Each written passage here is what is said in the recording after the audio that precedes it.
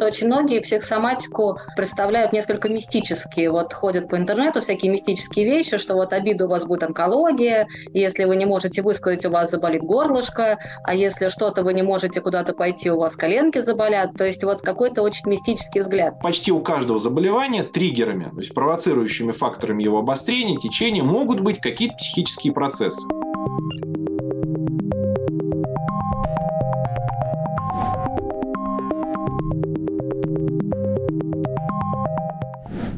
Всем привет, друзья! В эфире очередной выпуск программы «С нами грибы». «С нами грибы» – это новый интересный формат, который затеян группой Фунгилайн как обзорная программа, программа встречи с реальными э, работниками медицинской отрасли, и которая рассматривает применение грибов э, в области современной, новой, большой, уже нельзя сказать зарождающейся микотерапии, микофармакологии, микодиетологии, да, как хотите, так и называйте. Направлений много, тема молодая, интересная. Тема э, нашего выпуска – психосоматика и микотерапия. Мне кажется, что э, тематика данной программы, она давайте позволим ей формироваться самостоятельно. Потому что выяснилось, что я был, в общем-то, довольно неправ в своей оценке, а что такое современное понимание психосоматики. Я, безусловно, понимаю, что всевозможные психологические проблемы. Мы живем в очень стрессовом мире. Нас много людей, у нас очень сложные взаимоотношения человечество постоянно нарастает в своем количестве, и, количество, и число стрессов растет и растет. Да, самых разнообразных, социальных, там, военных, экономических, каких угодно, поведенческих. И э, вот это все мы попробуем сейчас как-то структурировать, отделить мухи от котлет и с вами разобрать. Тема действительно огромная, но очень интересная. Если нам не хватит времени, мы сделаем там выпуск 2, выпуск 3, посмотрим, как оно пойдет. Итак, кто у нас сегодня будет в выпуске участвовать? Ну, я, понятно, буду как ведущий. Э, наш главный гость – это, опять-таки, чтобы не набрать, сейчас я вам почитаю, это Бекетов Владимир Дмитриевич. Сейчас я зачитаю вам его регалии. Я точно знаю, что он кандидат медицинских наук, позволю себе это начитать, а также врач-терапевт, клинический психолог, доцент кафедры терапии Первого Московского государственного медицинского университета имени Сеченова.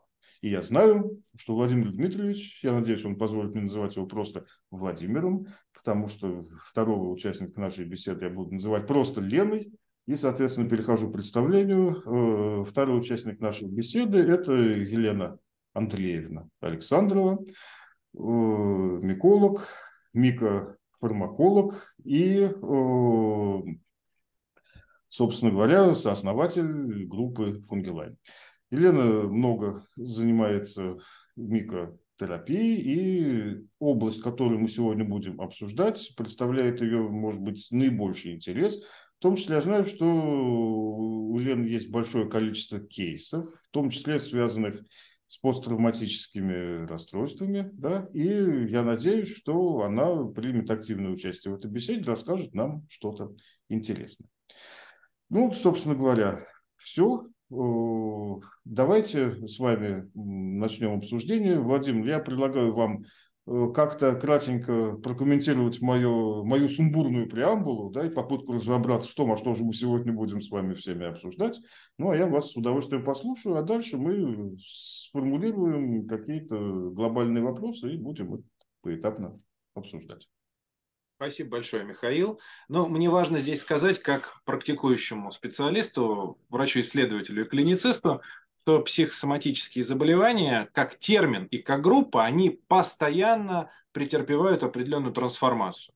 Где-то, ну, там, на заре развития медицины, если мы посмотрим ранние письменные источники, там, от греческих до арабских, э, персидских авторов, перекресток здоровья духа здоровья телесного, он всегда интересовал врачей, специалистов, шаманов, знахарей и так далее. Но к 20, 19, 20 веку э, к развитию психологии, психиатрии, психофармакологии, психоанализа, наличие там э, серьезных прорывов в области понимания работы сознания, телесного, психического их взаимодействия, э, пришли к пониманию того, что, в общем, практически любое заболевание, оно может иметь определенные изменения в работе структуры э, психики, и это может тоже влиять на, соответственно, течение этого заболевания.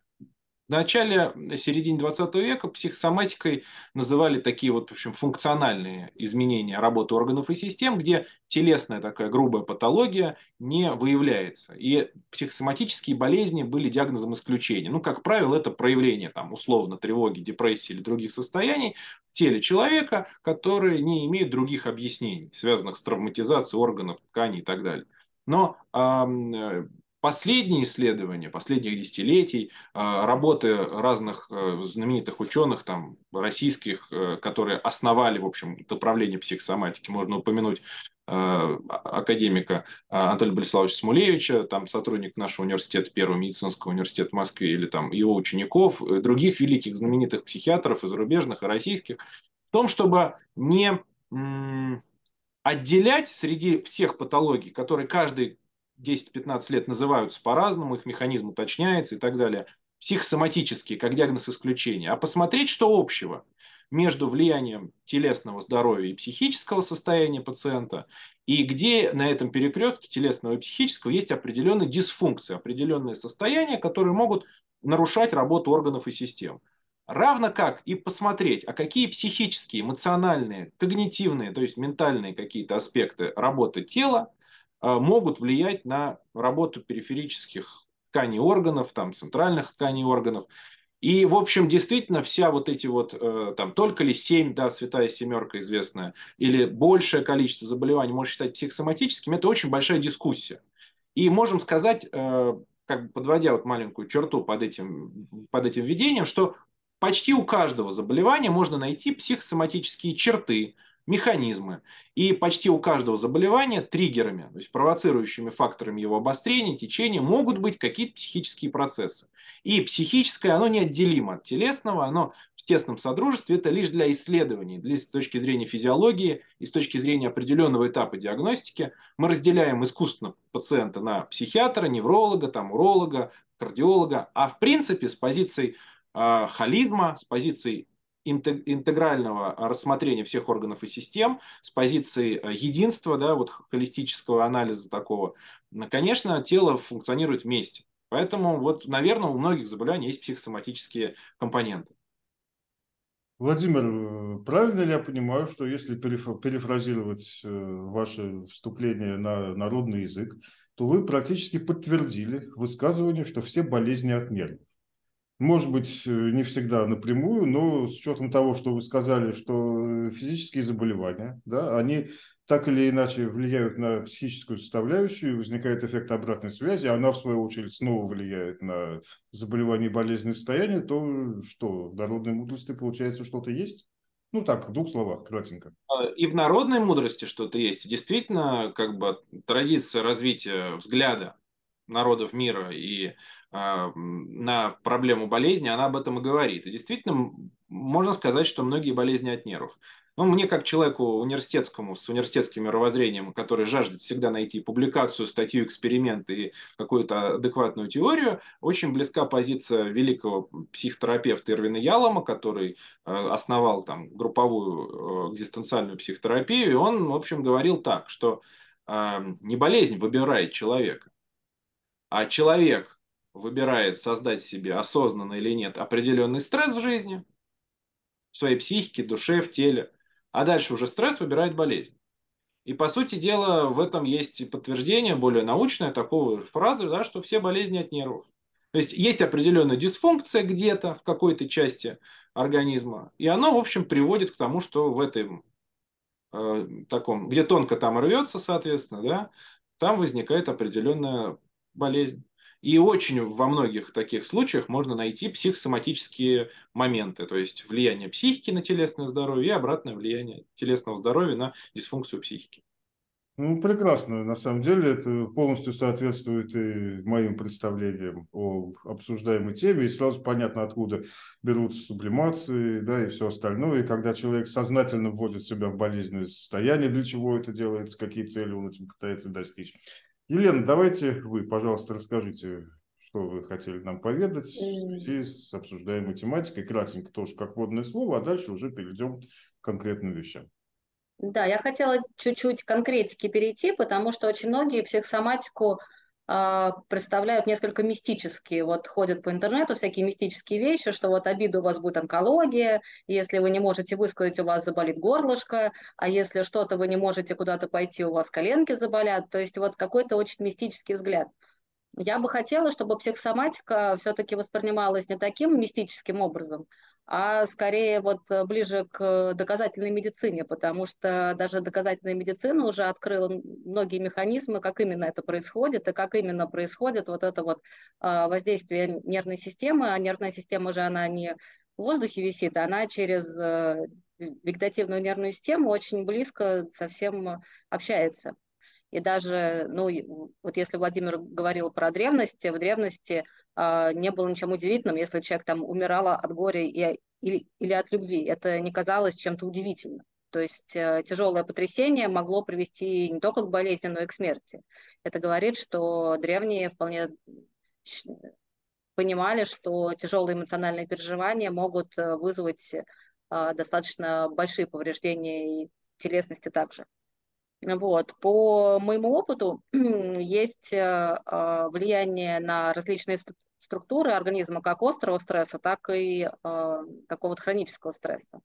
На мой взгляд, от острого стресса больше всего страдает сердце, вот, от этого инфаркт или вот ишемическая болезнь сердца, как говорилось. Страдает кишечник, страдает э, система дыхания, нарушается дыхание и серьезно нарушается сон. Вот так проявляется обычно посттравматика, сильный, значит, э, сильный какой-то стресс, острый. Вот. Если же мы говорим про хронический стресс, э, с моей точки зрения, э, страдает желудок, гастрит и язвенная болезнь, сердце, тахикардия, аритмия, кишечник, синдром раздраженного кишечника и э, страдает также сон, различные нарушения сна, отсутствие сна. Вот. Э, это вот э, первый комплекс э, таких систем, или ну, сон это не система, а состояние организма, да, которые страдают. А менее очевидные жертвы хронического стресса, вот, менее очевидными жертвами я бы назвала иммунную систему, мышцы и мышечные зажимы разные, там, спазмы какие-то, зажимы лицевые, там, нарушения осанки. А, также страдает молочная и щитовидная железы от хронического стресса. Вот. А дальше я бы назвала такие э, нарушения, они ну, близки ну, между психологией и соматикой, это такие вещи, как нарушение пищевого поведения. Это или заедание стресса, или наоборот анорексия. В общем, различные нарушения пищевого поведения, когда человек перестает слушать свое тело, не может его слушать, или из-за депрессии, или из-за какого-то затяжного стресса. Вот эти вещи, а, с моей точки зрения, они точно связаны с э, психологией, с психическим состоянием человека. И здесь же я бы сказала, что с моей точки зрения есть явные такие связки, триады, я их называю, то есть а, есть такие связки, как вот нервная система, кишечник и кожа, то есть э, когда проблемы в, в психике, они ведут э, к нарушениям э, в пищеварительной системе, и потом они ведут к разным кожным проявлениям. А дальше проблемы с нервной системой ведут к нарушению сна, и они ведут уже к метаболическому синдрому. А, проблемы с нервной системой ведут к проблемам иммунитета, уже они могут вызывать или опухоли, а, или уже аутоиммунное заболевание. При повышении иммунитета, соответственно, могут возникать аутоиммунные заболевания. При снижении иммунитета мы можем наблюдать опухоли. Вот я бы а, тоже с точки зрения холистического взгляда на медицину, я бы а, свой взгляд обрисовал бы примерно так. Ясно, спасибо. Я услышал одну очень интересную вещь. Я хочу это переадресовать вопрос Владимиру, чтобы он параллельно это прокомментировал. Вот Елена сказала о, о заедании стресса. Да? Это на самом деле такая штука, которую я бы охарактеризовал как психосоматическая поведенческая реакция. Да? То есть это не болезнь уже какого-то там органа и системы, это именно психосоматическая поведенческая реакция. Владимир, существует ли вообще классификация вот именно этой области интересной, поведенческих реакций, обусловленных психосоматикой? И если существует, то можете ли что-то по этому поводу сказать и, может быть, даже перечислить? Ну, продолжая очень важный и правильный комментарий э, Елены, я хотел бы дополнить и сказать, что а действительно, э, желудочно-кишечный тракт и сердечно-сосудистая система – самые стрессозависимые органы. Это определяется особенностями их иннервации, гормональными а, процессами, которые на сегодняшний день вот так вот известны нам, как известно.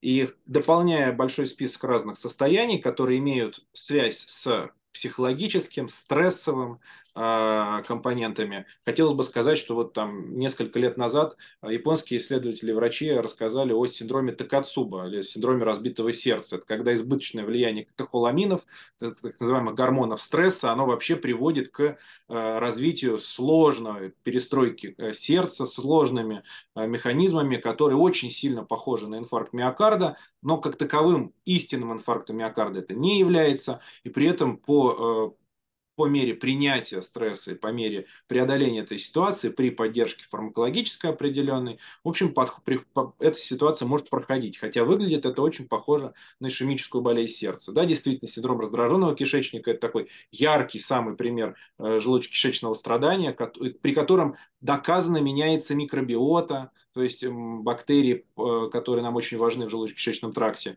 И там очень сложное взаимодействие у, у разных осей, например, э, ось эм, нейрогормональная, изменение гормонального статуса, кишечник, кора головного мозга. Это очень большое поле для исследования.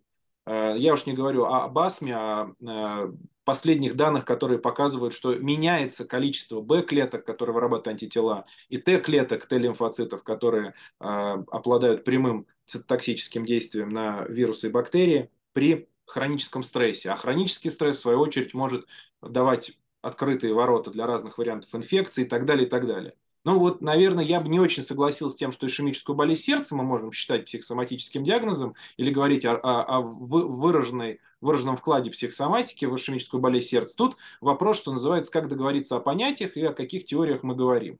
Э, потому что есть инфильтративная теория атеросклероза, системное воспаление, они влияют на сосудистую стенку и так далее, и так далее. Но тут мы обязаны сказать, что вот все эти разговоры о том, что такое болезнь, что такое здоровье и как воспринимать систему, они нас приводят к тому, что нам приходится сначала договориться о том, что тогда такое вообще болезнь и как ее воспринимать. Потому что у нас вся медицина университетская на сегодняшний день построена по, по историческим причинам, по объективным причинам других наук, построена на, причи, на том, чтобы а, а, оценивать физиологические процессы, адаптацию к механизмам выживания и, соответственно, определять болезнь как нездоровье или как нарушение функции. Но это нарушение функции иногда при некоторых исследованиях выясняется, на самом деле является способом адаптации, просто не таким, какой бы нам хотелось бы видеть. Но это, это очень большая дискуссия, которую бы в рамках вот сегодняшней темы там даже открывать страшно.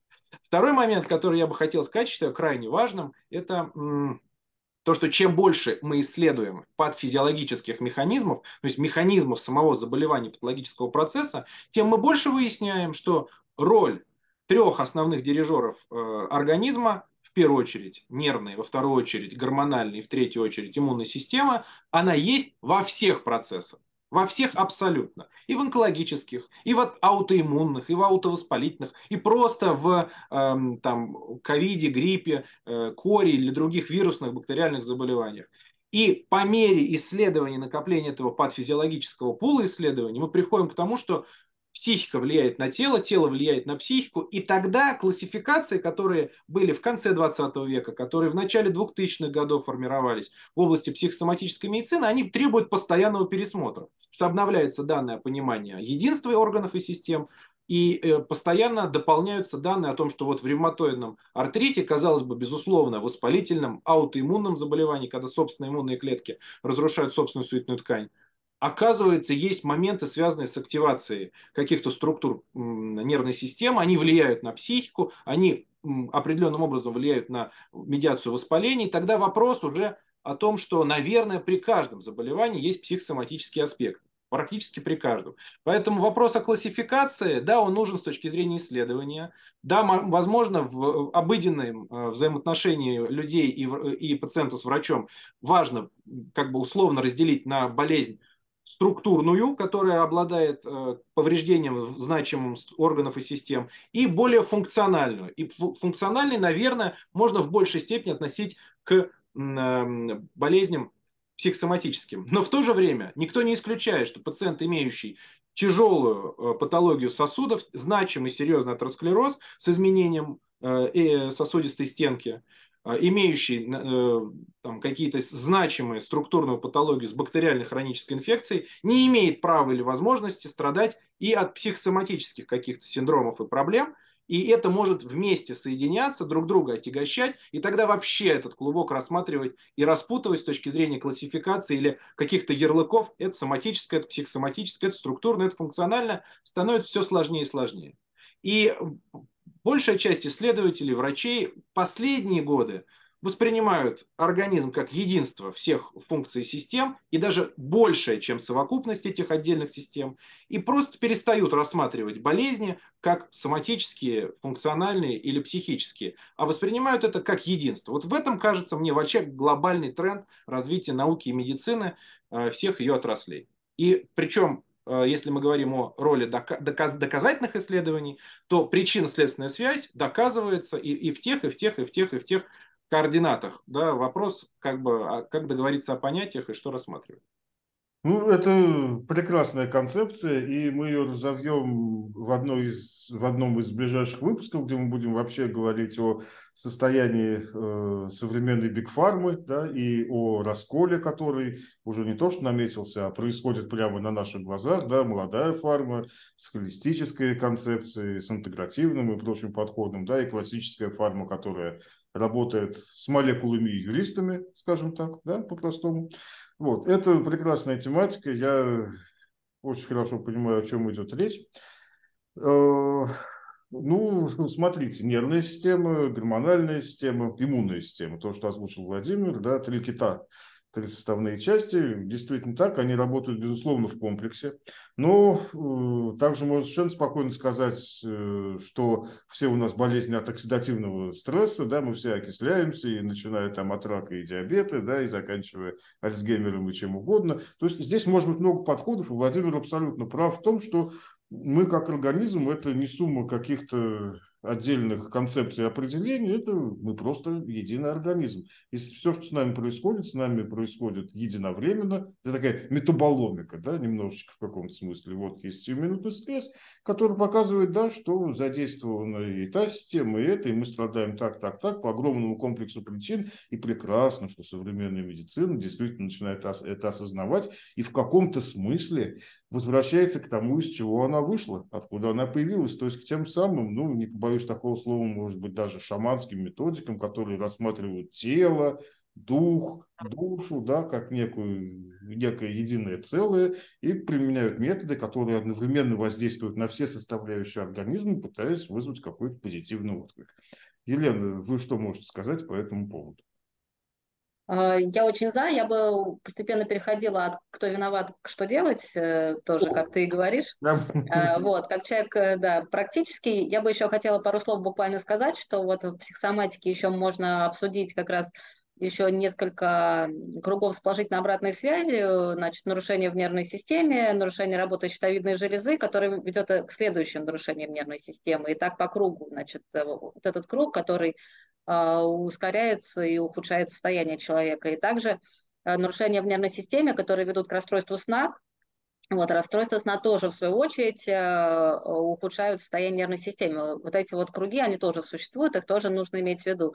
И последнее, как, в общем, единственная женщина, я бы еще хотела сказать по поводу того, что э, стресс, он также и на внешность влияет, э, также можно и постареть от горя достаточно быстро, и состояние волос, и кожи, и ногтей, и вот всего, чем мы любуемся внешне, тоже от стресса портится, конечно, и это тоже нужно иметь в виду, потому что важно же не только здоровье как здоровье, еще же важно здоровье как здоровье внешнее. И тут э, тоже понятно, что стресс не помогает. И нам, а, конечно, интересно, как и микрофармацевтам, и просто врачам найти такие пути, чтобы а, при подходах к лечению каких-то болезненных состояний а, не забывать о том, что может быть какое-то лечение психотерапевтическое может сделать больше, чем просто лечение симптоматическое.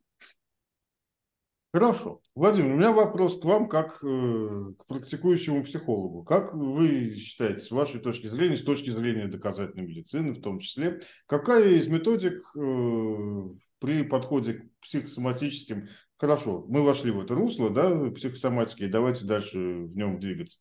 Какой подход э, более эффективен? Медикаментозный, психологический, да, вот побеседовать с пациентом, объяснить, что все его проблемы от там, такого такого комплекса переживаний, у него в голове чего-то перещелкнет, и синдром раздраженного кишечника сам по себе пройдет. Да? Или все-таки в первую очередь нужна какая-то медикаментозная, или, э, мне не нравится это слово альтернативная медицина, да, но хорошо, использование препаратов растительного, там, грибного, животного происхождения или какой-то микс, да, сочетание их. Вот что, с вашей точки зрения, наиболее эффективно в этом плане? А, ну, если мы говорим о доказательной медицине, то сразу важно сказать о том, что это подход к организации в принципе а, общественного здоровья, клинических исследований и поиска доказательств. Так что говорить вот э, и, и, и термин доказательной медицины он в последнее время претерпевает определенную трансформацию. Поэтому я бы сказал так: есть научное обоснование и доказанные в эксперименте подходы, а, а есть то, что на текущий момент либо не доказано, либо много раз подтвердило свою несостоятельность, то, что в экспериментах это провалилось.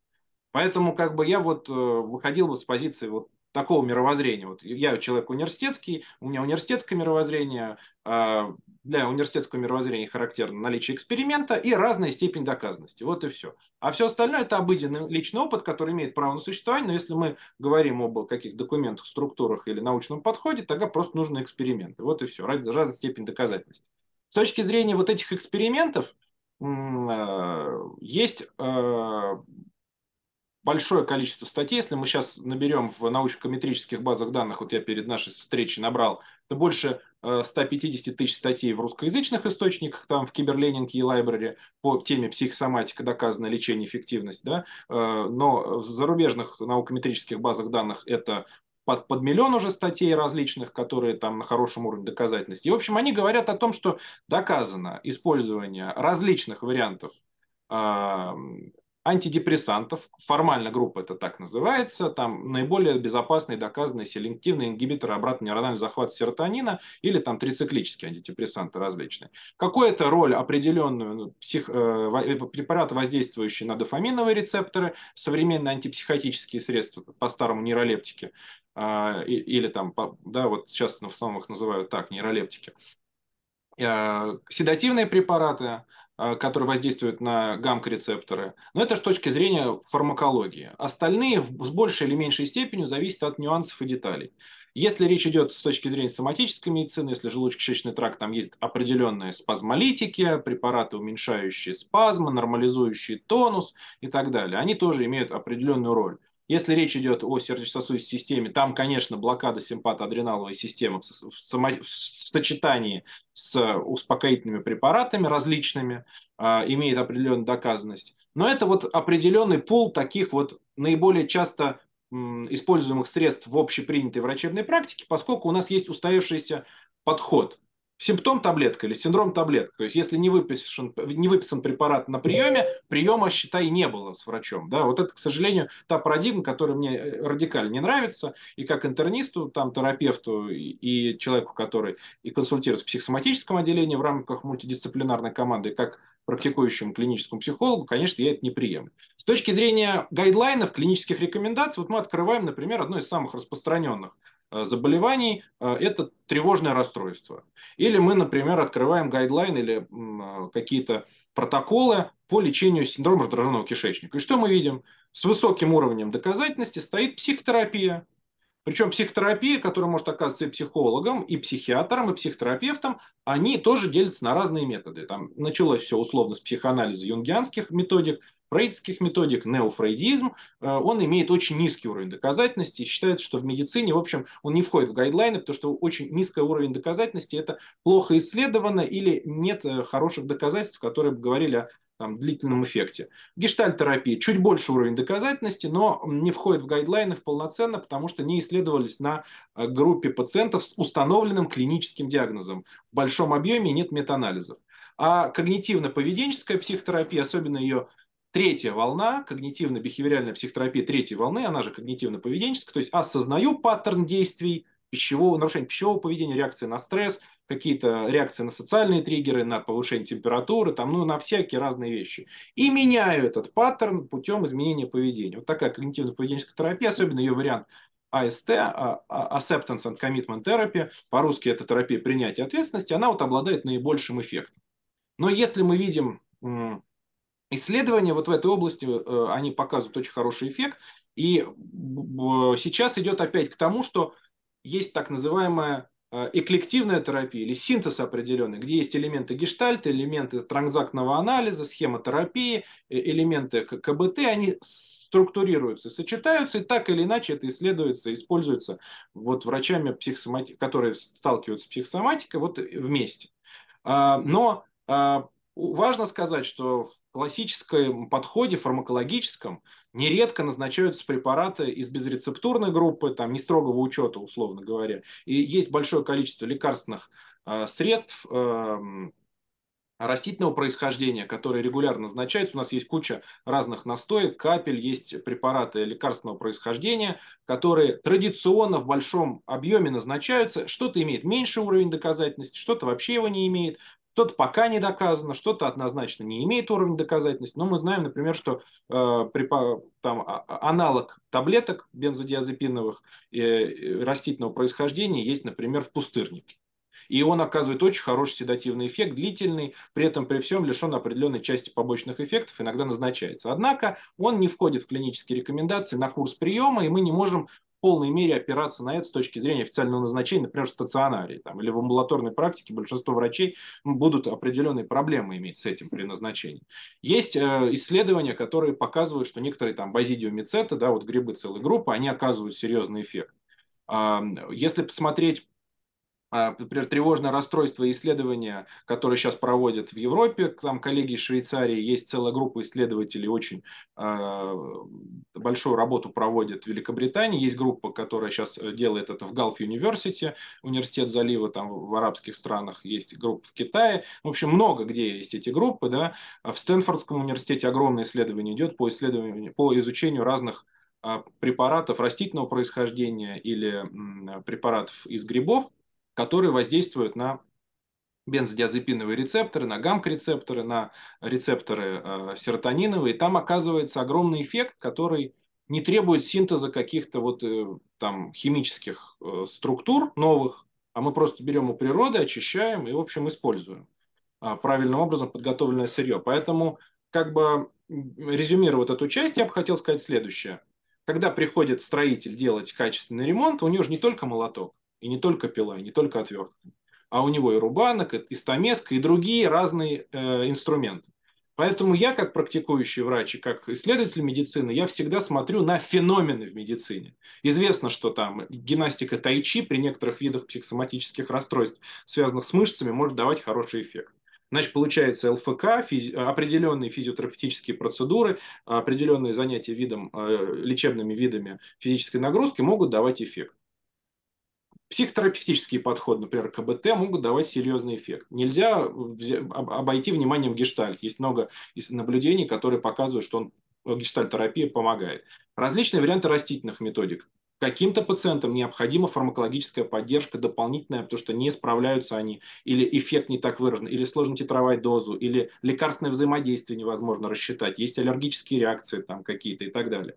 Пожалуйста, тоже такой момент есть. Поэтому я бы не противопоставлял бы один метод лечения с теми-то или иными доказательствами против другого, и я бы э, не использовал бы термин альтернативная медицина, я бы использовал термин э, синтетическая медицина, эклектическая медицина, я бы говорил о комплементарной медицине, когда одно другое дополняет. Есть общепринятые или конвенциональные методы лечения, прописанные в гайдлайнах и порядками Минздрава, которые врач обязан по закону, чтобы не лишиться диплома, да, использовать, и к ним мы можем добавлять по решению врача, пациента в рамках партнерского подхода какие-то дополнительные, дополняющие методы лечения. Многие из них имеют серьезные доказательства.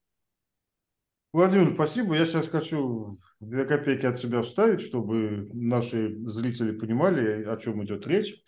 Владимир несколько раз упомянул о своем университетском подходе. Хочу обратить ваше внимание на то, что у нас сейчас все три участника этой программы, они, собственно говоря, с университетским образованием и с университетским подходом. Но когда я выгляжу глупо, задавая глупые вопросы, я, во-первых, э, формулирую их не от себя.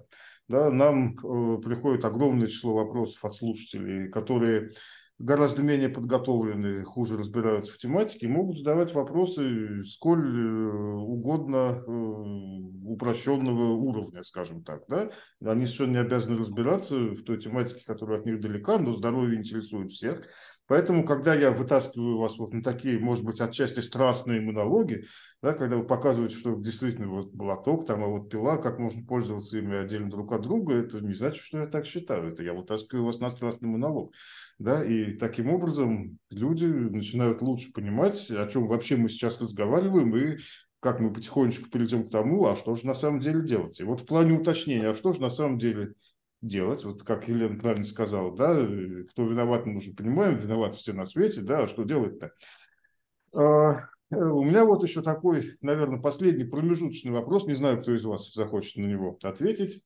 Как вы относитесь и что вы думаете о самотерапии? Да, вот, допустим, человек осознает, что у него синдром там, раздраженного кишечника, там проблемы со сном, стрессы на него влияют так-то и так. Он понимает, что это у него психосоматика в том или ином проявлении. Он знает, слышал, читал, да, вот сейчас из нашей программы может узнать, э, что существуют и препараты с давним принятым доказательной медицины использованием, а существуют вот какие-то сейчас Владимир тактично не, упомянул название, да, растения и грибы, которые серьезно влияют там на МАУ, серотонин, дофаминовую систему и так далее, и так далее. И, в принципе, они все известны, с ними тоже можно работать.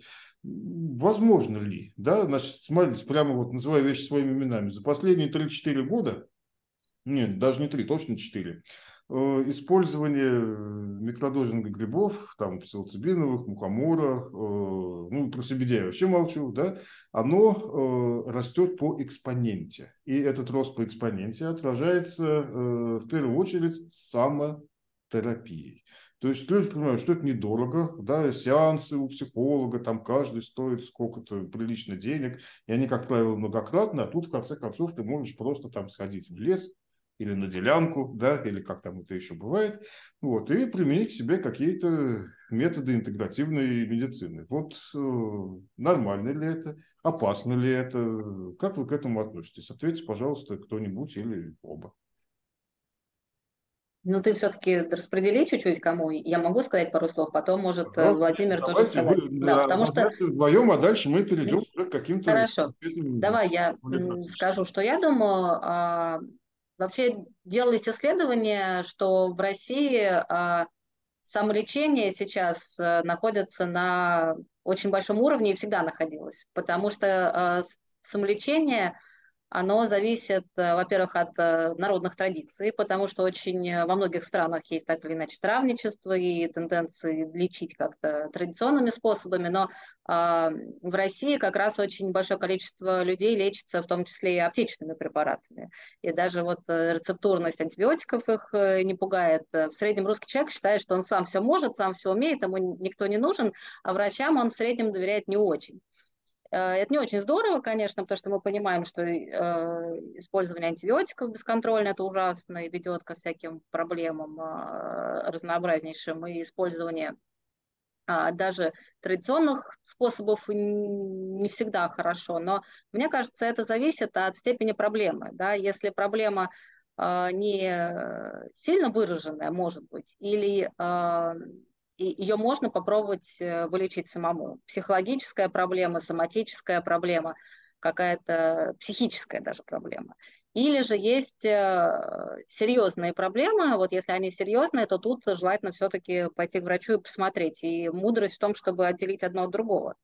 А, потому что с какими-то болезнями, ну, например, многие болезни проходят сами по себе, но, например, тот же кариес, он сам по себе не вылечится, да, и с некоторыми психическими заболеваниями та же история.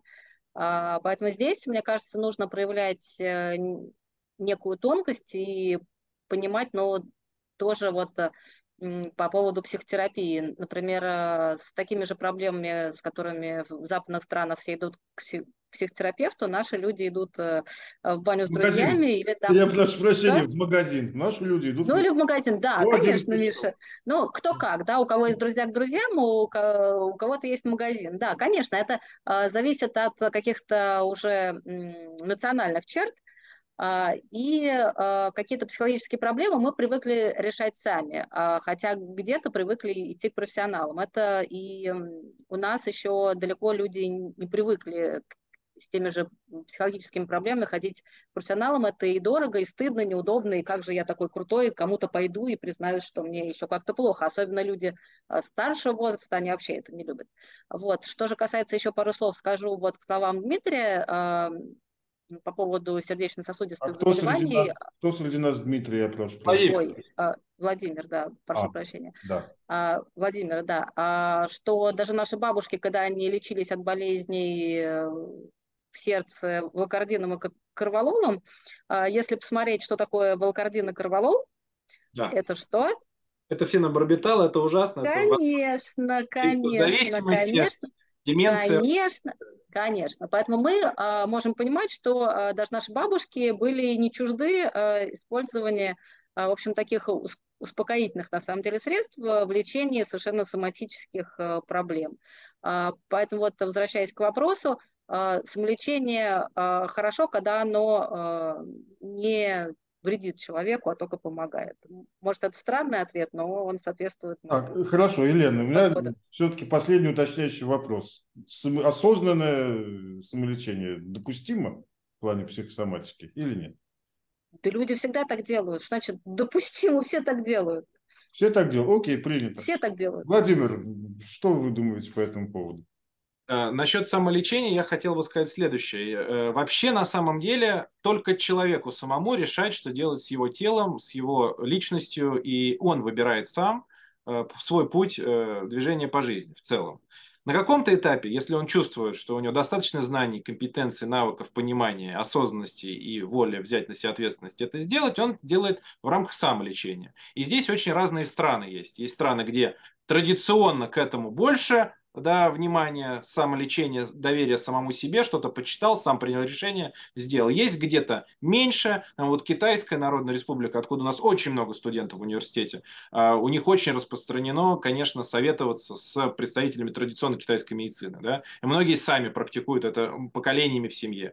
У нас есть определенное недоверие после длительного периода такой патерналистского подхода, когда врач сказал, а пациент делает. Очень да, трудные взаимоотношения с врачами у многих и много, большое количество недоверия. А последние определенные социальные кризисы и тем более э, период пандемии COVID-19, он тоже на это повлиял достаточно значимо. Есть страны, где э, любая проблема должна быть решена специалистом, и там а, обязательно записаться на прием к врачу, пусть и даже три месяца этого ждать. И тут очень важно посмотреть, какими способами и методами. Конечно, назначение э, препаратов, входящих в государственный лекарственный регистр лекарственных средств Минздрава, фармакопею с рецептурным отпуском, с трудным, сложным э, механизмом действия, где надо рассчитывать лекарственную совместимость одного с другим, где есть риски конфликтов химических в области там, действия лекарств, это называется фармакокинетический или фармакодинамический конфликт. Конечно, здесь есть нюансы и трудности. И э, с другой стороны, есть понимание, что э, там э, у, у пациента может быть какой-то опыт личного использования каких-то препаратов, он знает, что это помогает и так далее. Поэтому, конечно, определяет это все сам пациент.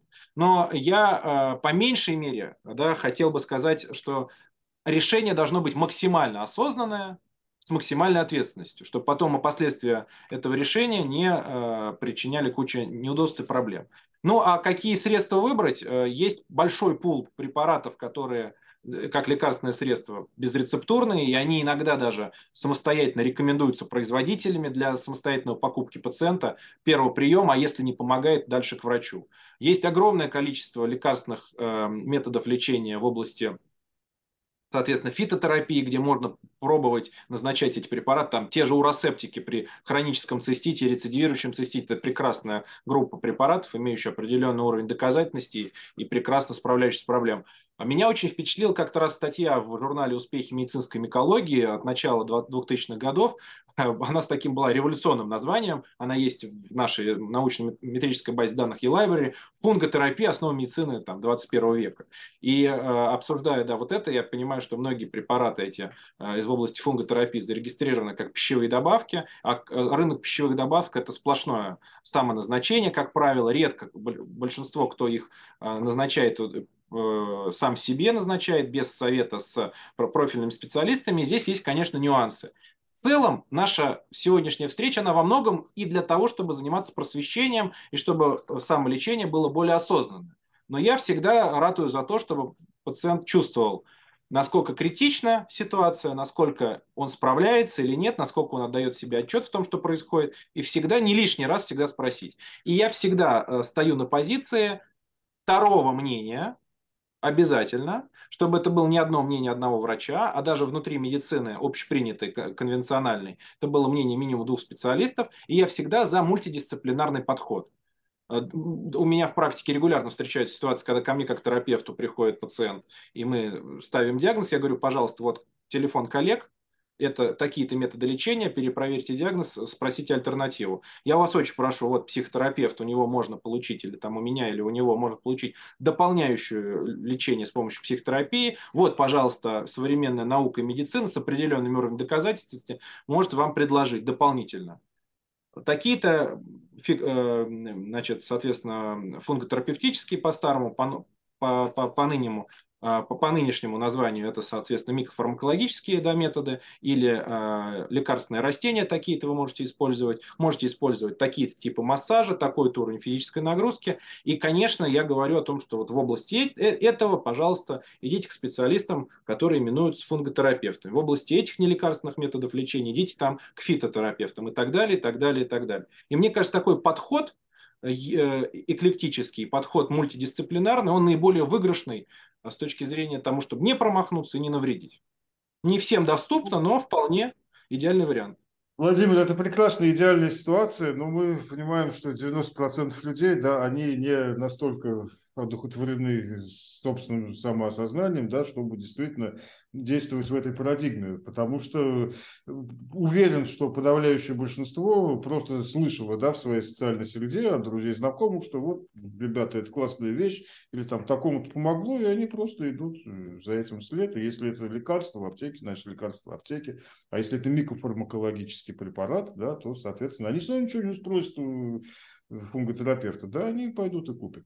Но это не хорошо и не плохо, так устроено человеческое общество, так устроено человеческое сознание, но действительно, в чем, то есть вы правы во всем, но особенно вы правы, Владимир, в том, что с этим действительно надо работать.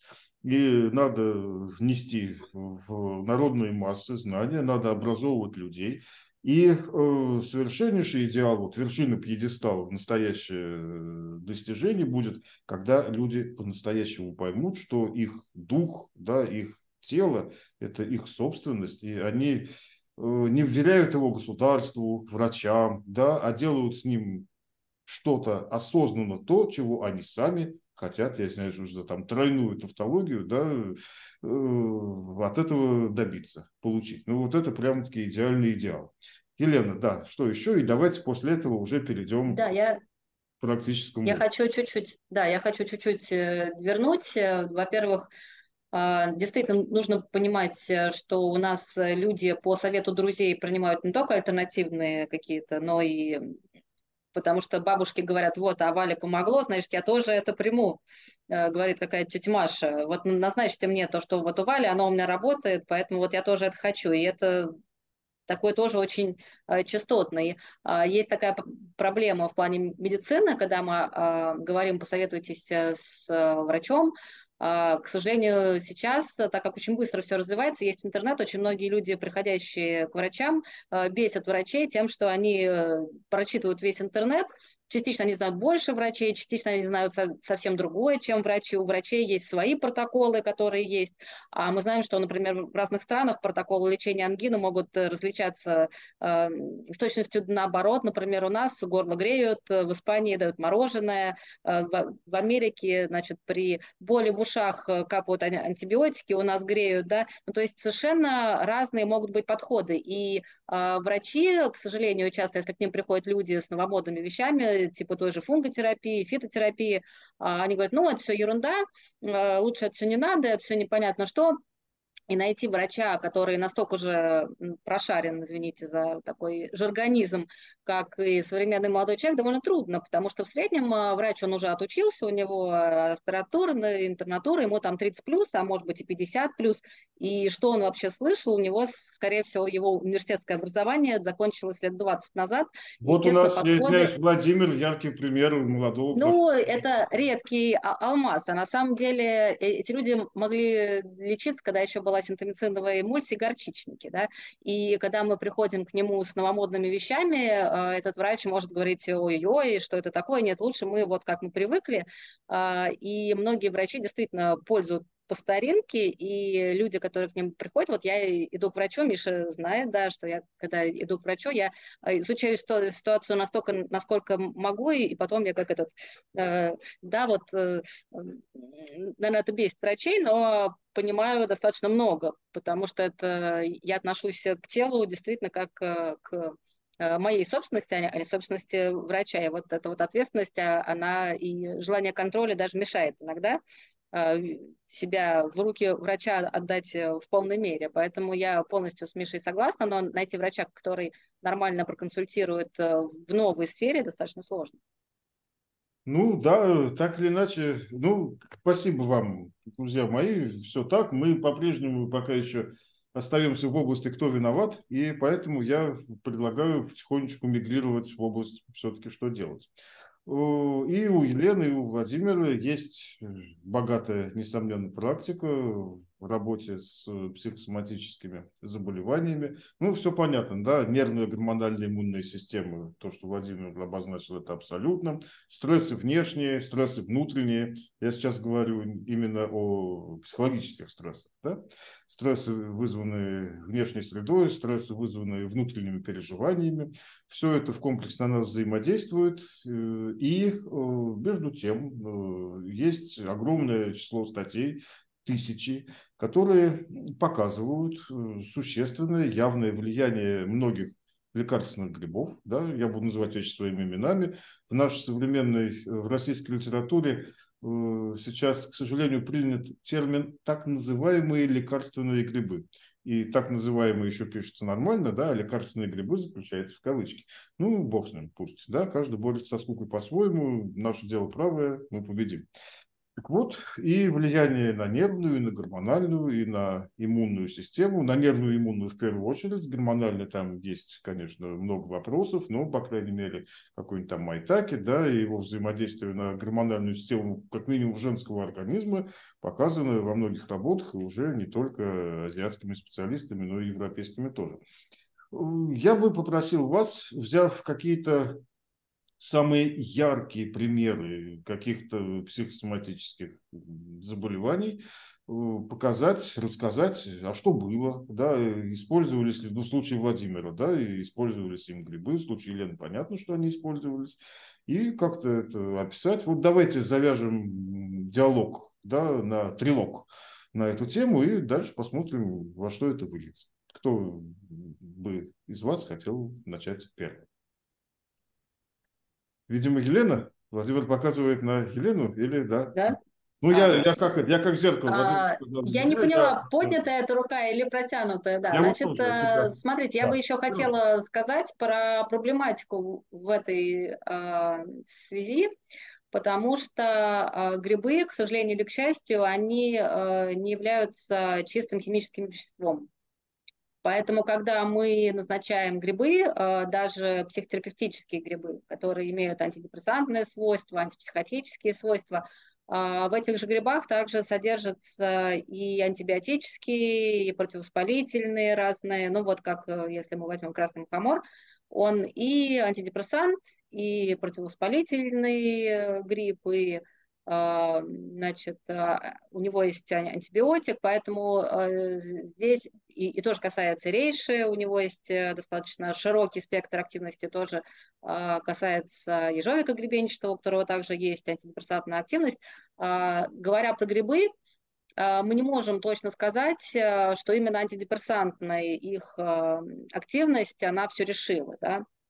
А, поэтому здесь нужно сразу сказать, что мы так думаем, так считаем, хотя здесь э, по-хорошему, конечно, э, надо бы еще поиграть с чистыми веществами, да, посмотреть, как там будет, но мы можем предполагать, что э, антидепрессантные свойства были важны в решении каких-то проблем. Вот я бы это хотела сказать, потому что чистого эксперимента мы, когда мы занимаемся как раз фитотерапией и фунготерапией, мы не можем взять одно вещество и вот это все доказывать. Вот. Плюс, э, если говорить про фитотерапию и фунготерапию, э, там есть достаточно большой индивидуальный такой вот спектр ответов. Да. А многие грибы, они достаточно по-разному воздействуют на разных людей. Тоже, кстати, про антибиотики, даже антибиотики мы должны подбирать а, и даже не всякий антибиотик, не у каждого человека с каждой болезнью справляется. Все мы это знаем, что есть подбор. Но с грибами тоже а, один и тот же гриб, а, назначенный разным людям, может работать чуть-чуть по-своему. Так, вот, я вот прошу прощения, я... Лена, если можно, я перебью, потому что мы сейчас чуть-чуть отходим в сторону, но на самом деле очень важно затронуть тематики. Действительно, каждый гриб – это огромный комплекс свойств, mm-hmm. и невозможно и неправильно подавать там вот мукомор это антидепрессант, да, решение да. спокойствие, да, как сейчас да. Э, веселка там это борьба с эректильной дисфункцией, не знаю, трометос это иммунотерапия, да, и так далее. Нет, это, конечно, неверно. Почему это происходит, это совершенно понятно. Да, это рекламная стратегия, продавцов, производителей. Это работа на, я знаю, этих интернетских роботов, да, потому что когда прописывается маркетинговая рекламная стратегия, туда проще всего упихать одно свойство, дальше на него давить, продвигать. И вот таким образом мы теперь весь Запад знает, что Рейши из Кэлм. Да, все, Рейши это спокойствие, и до свидания. А то, что оно еще умеет 100 тысяч всякого разного, это уже как бы мало кого волнует. Вот. Э, Но более того, Елена, еще больше Елена права в том, и сейчас я уже передам слово Владимиру, что э, да, это всегда комплекс. Между тем, вот когда мы с Леной, когда мы были в Израиле, ну, весной, да, там в начале, и мы были в лаборатории, где именно в плане доказательной медицины люди начинают работать не с одним веществом, да, не с молекулой, а с всем выделенным комплексом, да, там грубый экстракт, то, что называется, он чистится от совсем там страшной биологии, ошметков и хитина, и дальше все вещества достаточно высокомолекулярные оцениваются в комплексе, да, и с ними точно так же можно вести доказательные исследования, исслед... значит, работая со всем комплексом сразу и получая такие же данные, и анализируя и так далее. Более того, то, что продается среди грибов как как бы моновещество, так называемые полисахаридные экстракты, да, то, чем грешат китайцы больше всех. Ну, сейчас это уже делают и индусы, и бразильцы, и скоро пакистанцы, наверное, начнут делать, и у нас, между прочим, начинается производства полисахаридов грибов. Но что такое полисахариды грибные? Да? Если это преимущественно бета-д-глюканы, то они обладают как минимум сразу четырьмя базовыми свойствами. Это противораковая, иммуномодулирующая, да, антиоксидантная и противовоспалительная активности. Вот сразу какой спектр, а всего-навсего там какой-то, какие-то полисахариды.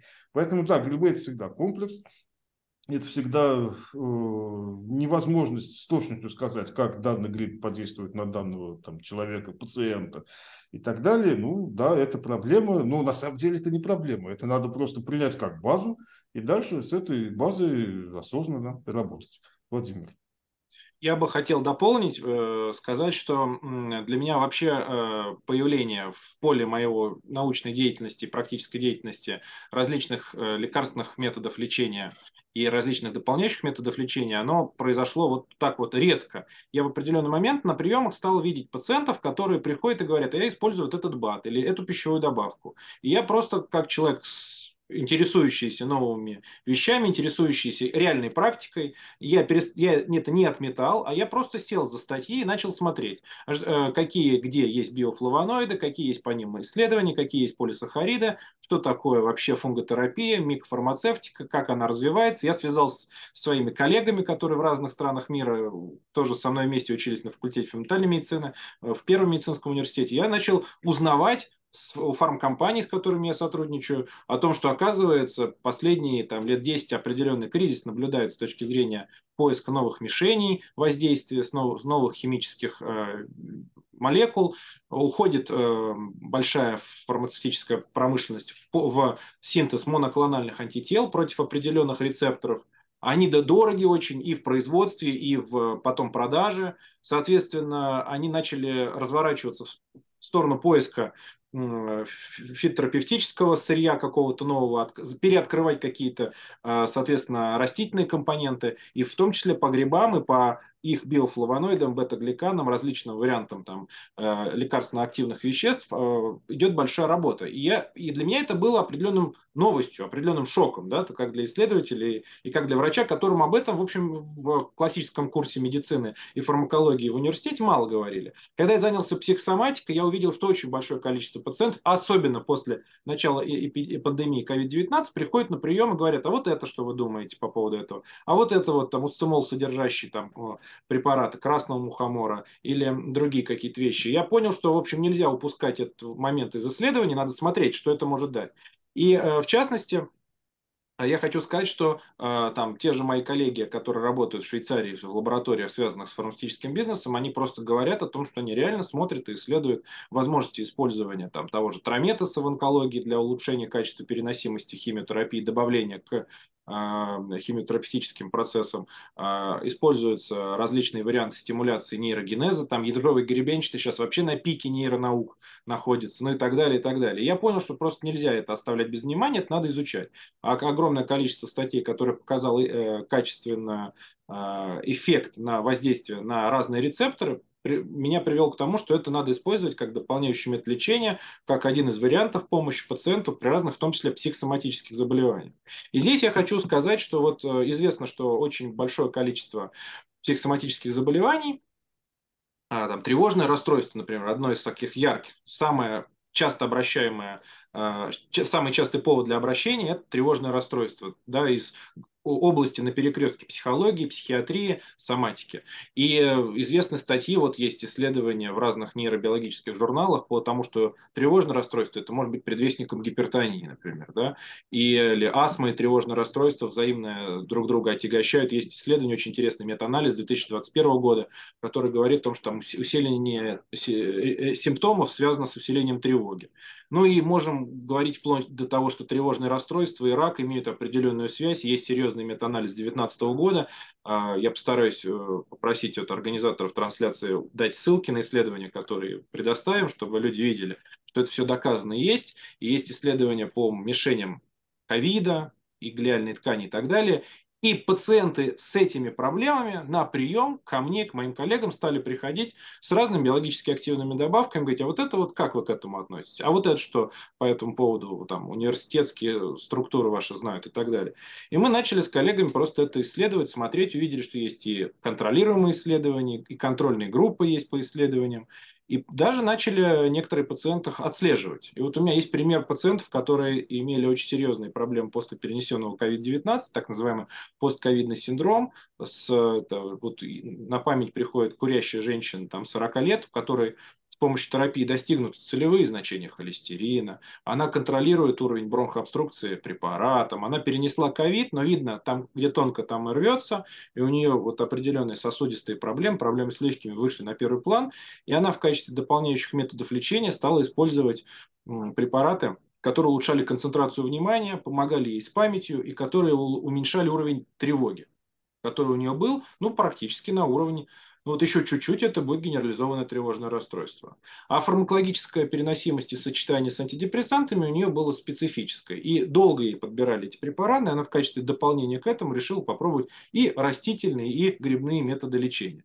И вот у нее очень эффективное было наблюдение, а, мое наблюдение было очень за хорошим серьезным эффектом а, препарата с ADHD, который и с одной стороны помогал концентрации внимания, да, это препарат, который ежовик гребенчатый содержит, и э, красный мухомор, там и чага есть определенный элемент в плане сосудистой, проницаемости сосудистой стенки, питание тоже имеет хороший эффект. Вот. И э, она еще использовала курс микродозинга. И м, я был очень удивлен этому. Я не имел права назначать, консультируя ее в стационаре и в отделении такие, препар... такие биологические добавки по внутренним правилам университета и больницы, но я был очень удивлен, кому, как это помогло продвинуть ей лечение вперед. Да, это определенные единичные наблюдения, но эти единичные наблюдения заставили меня не отметать это, а обратить на это внимание и сопоставить клиническую практику, имеющиеся доказательные исследования в интернете и э, те принципы терапии, которые пациенты используют в качестве назначения этих пищевых добавок.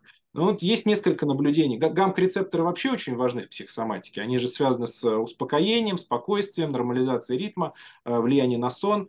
А препараты, которые воздействуют длительно на гамк-рецепторы, химические, синтезированные, неприродные, они очень часто вызывают нарушение структуры сна, зависимость и прочие вещи.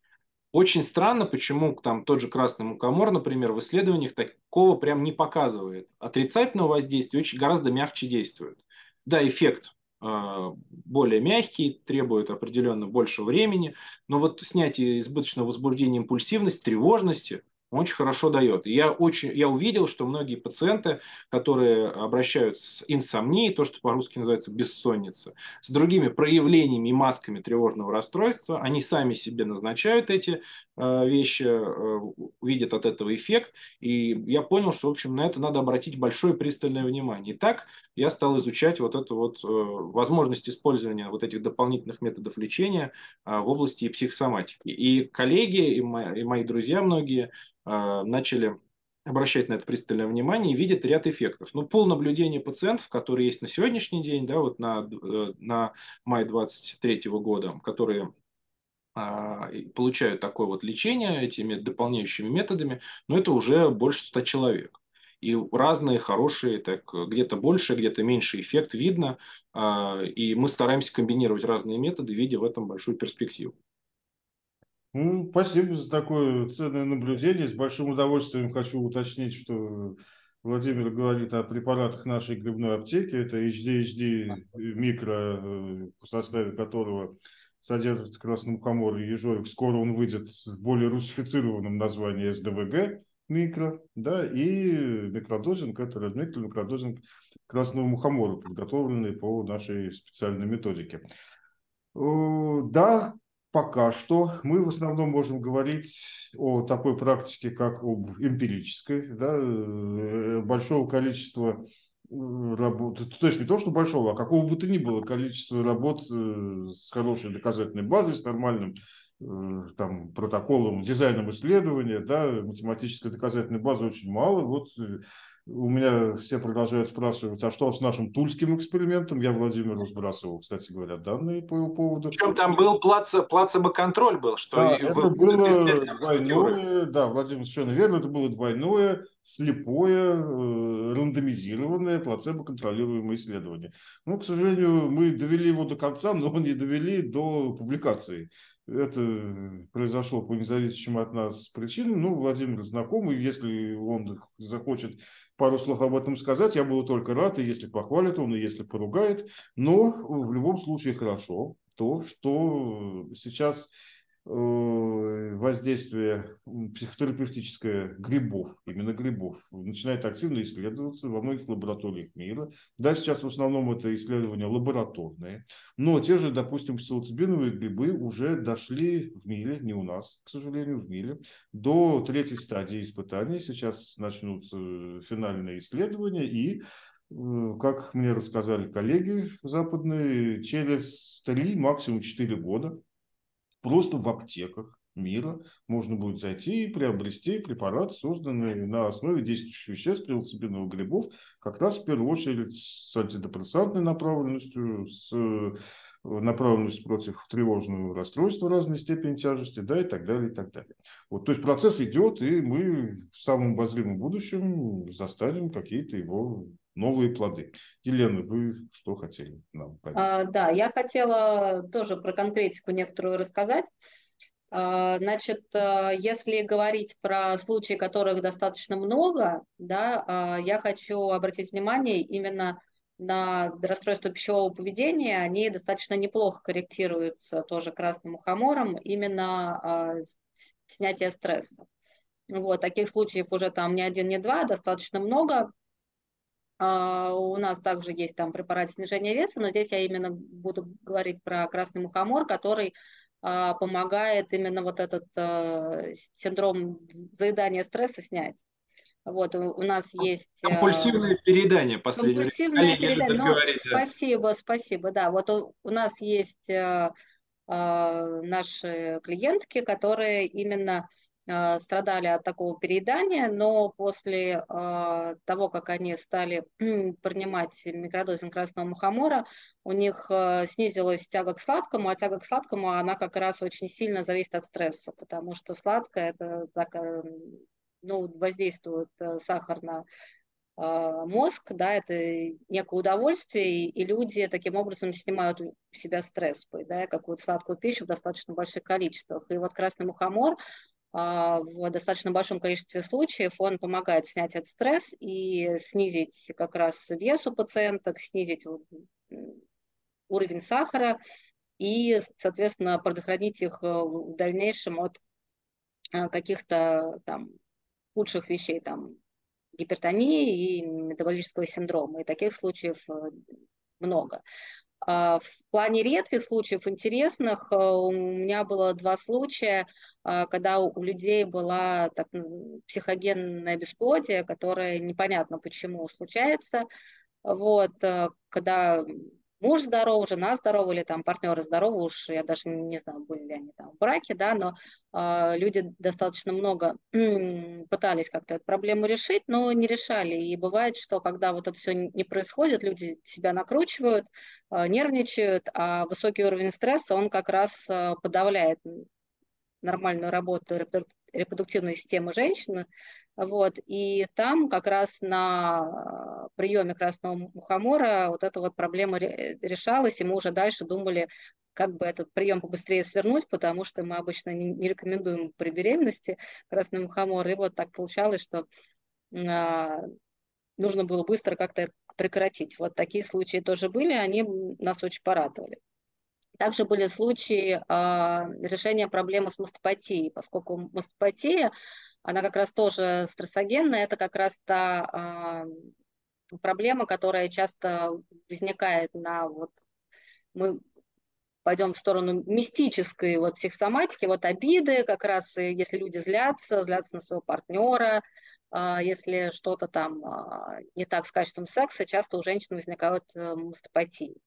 Вот. И на Красном Мухоморе человек расслабляется, видимо, там какие-то спазмы снимаются, уж я не знаю, что там происходит, но а, были случаи, когда мастопатии у женщин тоже а, рассасывались, так сказать, и а мастопатия, они могут приводить и к более серьезным проблемам в дальнейшем, поэтому это тоже нас очень порадовало. Еще были случаи улучшения ситуации с проблемой, проблемами щитовидной железы, именно гиперфункции щитовидки, которая а, сама по себе она вызывает э, значит, ухудшение работы нервной системы, вот эта положительная обратная связь, нервы, больше работает щитовидка, больше нервов, больше работает щитовидка. Вот гиперфункция щитовидной железы тоже на микродозинге красного мухомора она серьезно корректировалась. Вот, э, соответственно, там а, был вопрос об операции, она вот сейчас отложена, человек э, может пока жить так, без операции на щитовидку. Это вот те случаи, которые у нас были в последние последнее время, и я как раз вот хочу сказать про те эффекты, которые, скорее всего, были у, от антидепрессантных свойств красного мухомора. Также были кейсы я про... Прощения. Да. Я хочу немножечко э, разбавить. Очень интересно. Мне понравилось про э, компульсивное пищевое поведение, да, снятие... А я думаю, тебе про, понравится про самопроизвольное беременность, Миша, нет? Нет, ну как вы, относитесь, как вы относитесь к женщинам, да, я к ним не отношусь. Я не опасаюсь самопроизвольной беременности никаким образом. Мне сразу вспоминается случай, я очень кратко скажу. Как-то раз э, вот э, пришла пациентка, значит, и с серьезной достаточно соматической патологией, и мы ее, в общем, э, силами нашего отделения и коллег скомпенсировали, и она с успехом забеременела не, не могла этого сделать до этого. И после этого некоторые ее знакомые подруги начали звонить нам в отделение, когда мужской голос ординатора или врача брал трубку, говорил, да, слушаю вас. Вы помогли очень хорошо забеременеть нашей подруге. Пожалуйста, можно к вам приехать на прием? Помогите нам тоже забеременеть. Конечно, это вызывало большой дикий смех. Да, вот. прекрасно. Действительно, соматическая. Да, да, да. Да, ну дальше уже, дальше уже снятие венца безбрачия, да, и все, все прочие дела, но между тем, вот сладкое, да, Сладкое. Красный мухомор, да, изменение поведения. Чем интересен случай? Здесь грибы борются с грибами. Да? Если копнуть глубже, что такое желание организма увеличивать потребление сладкого, сахаросодержащих продуктов? Это говорит в первую очередь о дисбалансе внутренней флоры, да, бактериальной и грибковой, и это говорит о том, что дрожжи, в первую очередь там факультативно-патогенные, да, и прочие, там, я не говорю про кандиду, начинают получать преимущество, захватывают э, ведущую роль в огромном симбионтном комплексе, который именуется человек, да, и поскольку дрожжи потребители сахара, да, то они, в том числе на гормональном уровне, начинают регулировать наше поведение так, что мы все больше и больше закидываем в себя сахар, тем больше становится дрожжей, тем больше снова сахара они просят. И это самый разгоняющийся процесс, который замечательно, что можно остановить красным мухомором, но это прямо вот война грибов, да, на новый современный медицинский лад. Это очень интересно само по себе. Да, Владимир. Я еще хочу дополнить, что э, сейчас проводятся действительно большие исследования гастроэнтерологическими ассоциациями по методике пересадки микробиоты от пациентов, которые очень худые, пациентам, которые очень э, тучные, имеют ожирение, и это рассматривается как перспективный метод лечения. Просто пересадка микробиоты, да, в совершенно замена микрофлоры в кишке будет менять э, гормональную пищевую ось и пациент просто вот из-за микробиота может начинать худеть. Есть исследования очень серьезно, это за этим большая перспектива. И мне кажется, что это вот впрямую дополняет то, что сказал Михаил. И второй момент, который я очень хотел сказать, это желудочно-кишечный тракт, это непосредственный э, дополнительный серьезный механизм имеет связанность с серотонином. И очень большое количество серотонина еще и вырабатывает в желудочно-кишечном тракте. Поэтому пищевое поведение компульсивное переедание, нарушение пищевого поведения может быть как механизм адаптации к стрессу. И, по сути дела, это не является патологией в прямом смысле, а это так, дезадаптивно пациент справляется со стрессом, его полностью не осознавая, не зная, как по-другому себя вести. И вот э, сочетание препаратов, которые воздействуют на гамма-рецепторы или там пищевой добавки э, мусцимол содержащих грибов, может давать хороший эффект с точки зрения сопровождения психотерапии, изменения пищевого поведения и выхода вот из этого порочного круга, о котором Елена говорила. Так ну, что со всех сторон, ну, со всех сторон есть исследования, все, все направления медицины об этом говорят. Ну, замечательно. Недаром древние, да, в том числе сказали, что человек есть то, что он ест. Да, это тоже вот все сюда. Э, Елена, э, как насчет э, посттравматического расстройства, синдрома? Вот это для меня очень интересно. Значит, я объясню, почему я... Наши зрители могут удивиться, а чего это я спрашиваю у Лены, чего там у нас в плане пациентов, да, кейсов, случаев и прочего. Это неудивительно, потому что Лена сейчас уже у нас реальный практик. Я совершенно ну, практически полностью ушел в теорию. Да, моя задача – это аналитика, общение с специалистами, зарубежными коллегами. Я большую часть времени провожу за тем, что исследую профильную литературу, да, свой микрометаанализ совершаю, да, если можно использовать такое а, оксюморонистическое сочетание. Вот. А, и поэтому э, я, как обычно, последний все узнаю, а что у нас происходит в плане непосредственного отклика да, со стороны пациентов. И вот сейчас у меня в том числе э, прекрасная возможность спросить у Лены, а что у нас там с тем-то, тем-то и тем-то. Так вот, как очень серьезный случай психосоматического расстройства, да, в моем понимании, если я правильно трактую терминологию, вот, э, да, пожалуйста, если есть что-то у нас в плане... Ну, есть у нас э, посттравматический синдром, очень хорошие у нас есть кейсы, но мне кажется, это просто не тема этой беседы, потому что посттравматический синдром, мне кажется, а, ну, не совсем сюда. Я бы его поведенческое расстройство, в, да, это безусловно. В отдельную беседу. Но поведенческое все-таки ближе к психологии. Мы же говорим о психосоматике, то есть а, как психика влияет на, вну, на работу внутренних органов и систем. Мне кажется, посттравматика чуть-чуть другое, потому что тот кейс с посттравматическим расстройством. Тема интересная. У нас сейчас был очень интересный пациент – ему за 60 лет, э, мужчина, который воевал в горячих точках э, на протяжении достаточно большой части своей жизни. Сколько лет? В Африке.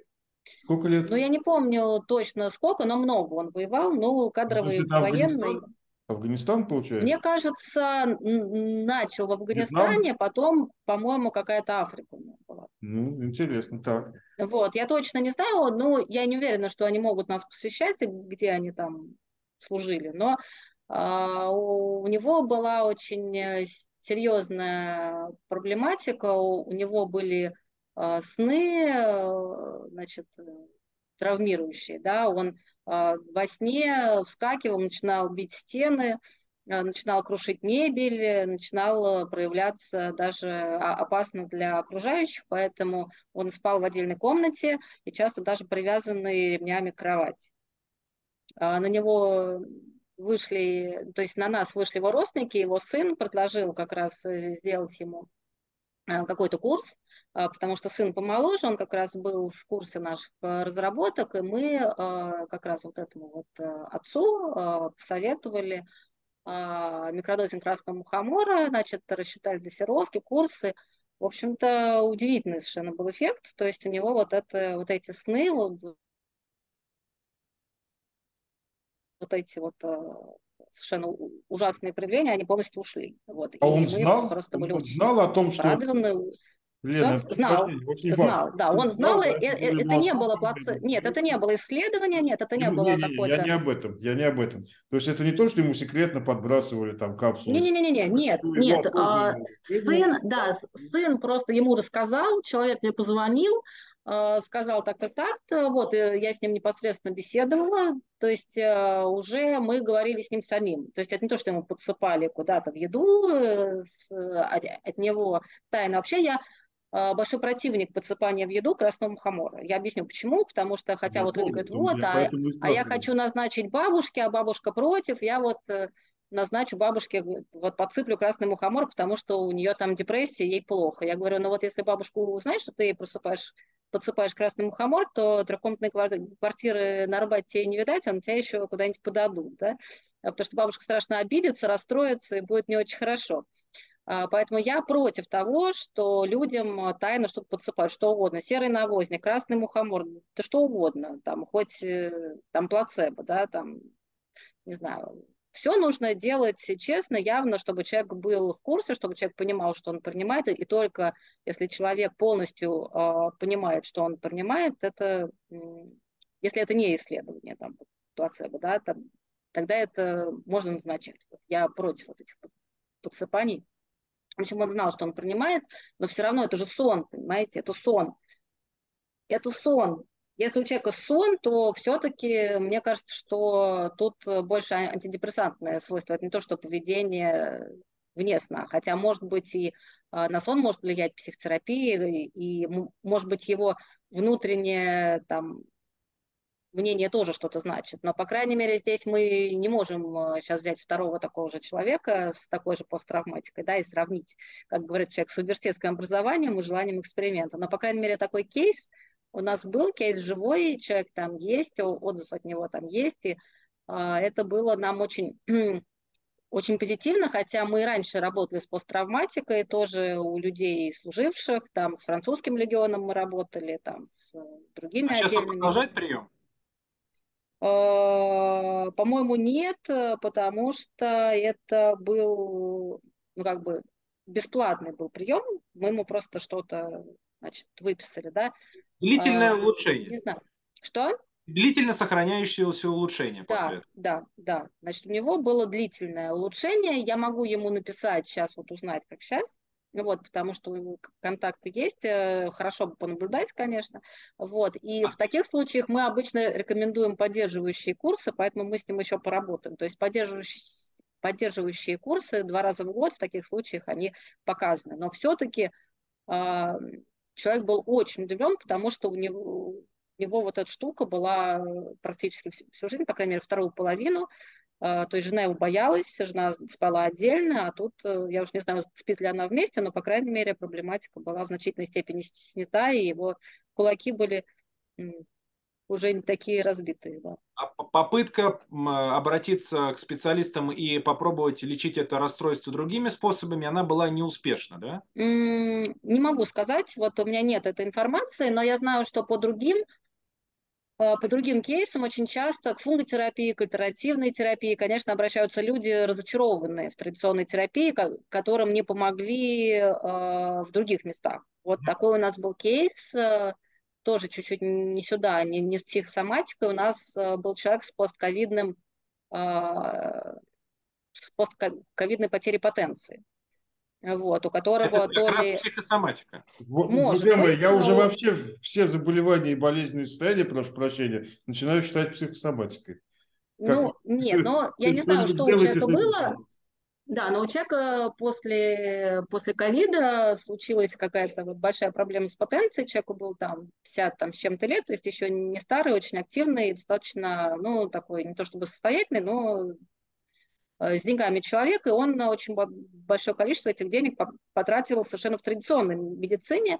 А, это нам рассказал один из наших филиалов, вот, э, который как раз э, человека уже пантерным мухомором восстановил в его функции. Да, для человека это было очень важно. Это был не красный мухомор, это был пантерный мухомор, но и, и мы знаем, что он хорошо здесь действует, но мы не знали, что он действует при постковиде вот, при постковидных расстройствах, но там был прям вот очень, очень хороший эффект. А, поэтому здесь э, что повлияло, повлияла ли психосоматика, повлияло ли это как на сосудистую систему, мы не знаем. Мы просто знаем, что работает, как э, в общем, люди, которые просто работают с какими-то конкретными кейсами, мы даже не знаем механизмов, мы знаем просто эффект. Я бы хотел сказать, что механизмы-то, в общем, во многом исследованы. Вот, например, если говорить про постковидный синдром, там выделяют очень большое количество психосоматических компонентов. И там действительно есть э, связь, связь воспаления, которое сделал э, вирус SARS-CoV-2, эм, э, воздействие на глиальную ткань, например, на микроглию, на, меняя тонкие механизмы саморегуляции рецепторов и нейронов, уменьшает трофику определенную, вызывая микровоспаление внутренней выстилки сосудов, меняется а, выработка и а, работа, регуляторная работа а, мозговой ткани. И это приводит к дисбалансу, в том числе гамк-рецепторов, серотониновых рецепторов. Есть э, работа по распределению рецепторов АПФ, там и мишеней для вируса SARS-CoV-2. Мы можем там, коллегам показать это все дело э, нашим слушателям. И есть э, риски ковид и психические расстройства, там это все показано в исследованиях.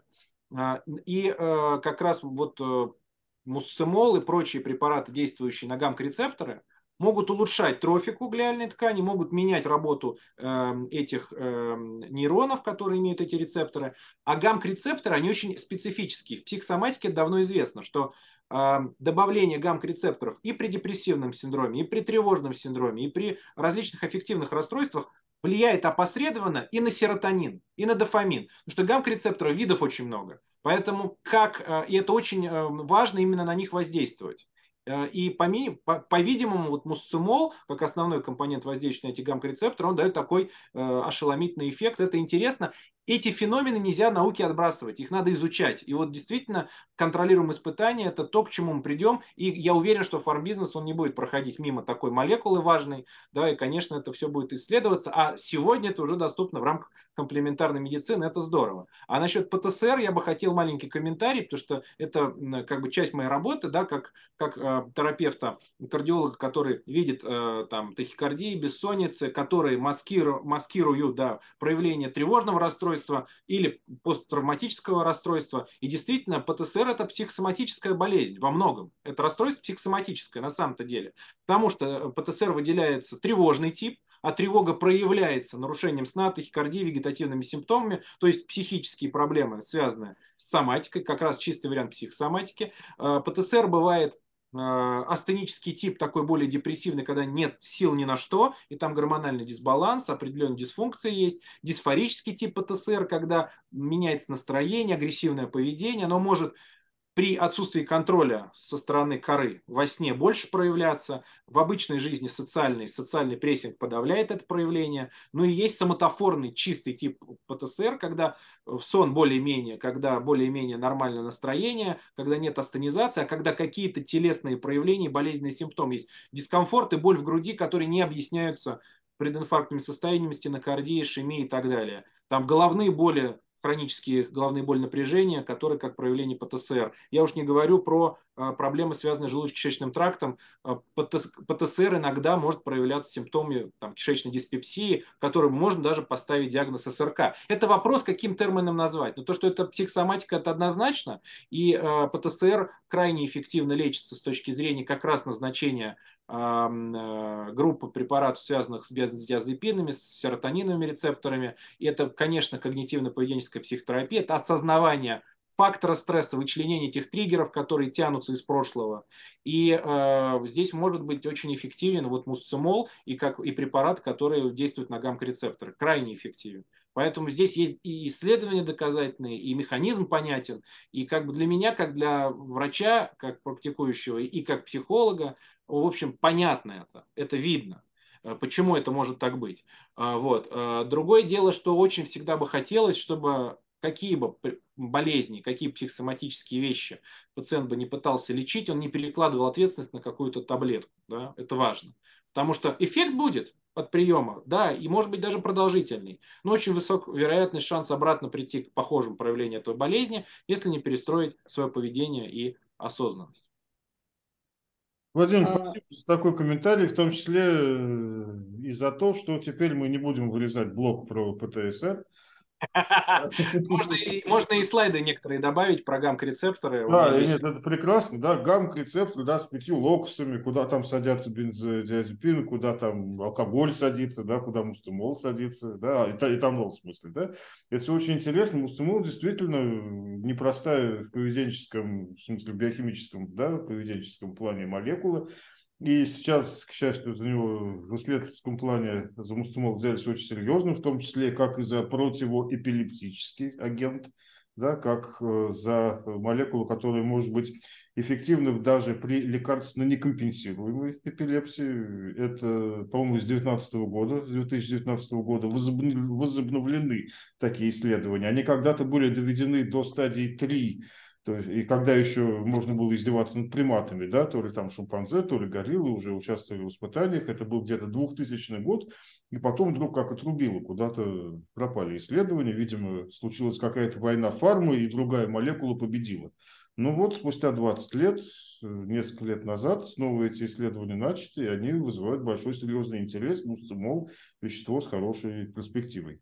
Да, пожалуйста, кто из вас будет первым, решите. Я бы кратко хотел сказать для коллег. Очень многие коллеги ко мне подходят э, и с разных кафедр Сеченовского университета, студенты, аспиранты, ординаторы говорят, а что это такое за развитие там, недоказанных мракобесных методов лечения с, с точки зрения там, лекарственной, нелекарственной терапии, того и всего. Я говорю, медицина развивается, или как любая наука, с точки зрения феноменологии, смотрится феномен, изучается этот феномен, из него делается теория, дальше идет вперед наука. Поэтому если что-то работает на каких-то феноменах, и вы это сегодня не можете как-то объяснить, необходимо наоборот это копать, а не отвергать. Это первое. А второе, что очень важно, это крайне важная история, это а, то, что э, современные э, механизмы развития болезней э, требуют поиска новых, дешевых, доступных лекарств. И разработка новых затруднительно очень, это дорого.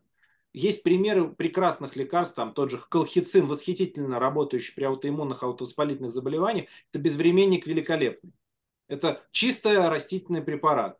Э, есть э, исследования, которые показывают там, э, влияние тех же каннабиоидов, запрещенных в России, но очень активно использующих по миру в качестве медицинского средства лечения паркинсонизма, например или любых других состояний, многих других состояний. И медицинская наука мировая, и фармакология мировая, и бигфарма в это идет.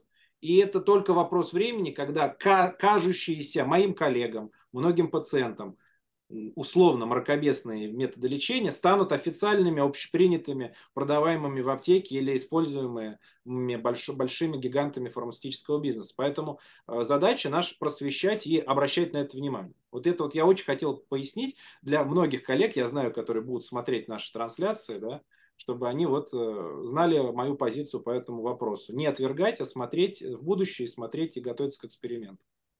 Ученый должен изучать, исследовать и ставить эксперимент. Совершенно верно. Вся наша современная медицина выросла из древнего травничества. И так или иначе это совершенно нормально. Да, Елена. А, я бы хотела в плане эпилепсии рассказать, у нас тоже есть несколько кейсов.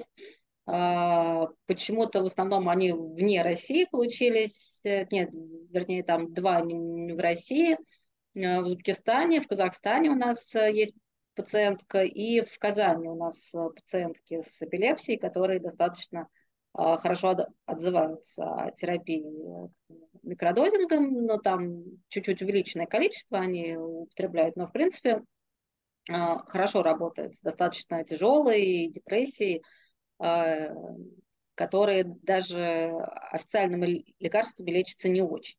Вот. То есть там вот тот случай, когда люди к нам пошли, когда не нашли ответов, ну или не полностью нашли ответы в традиционной медицине.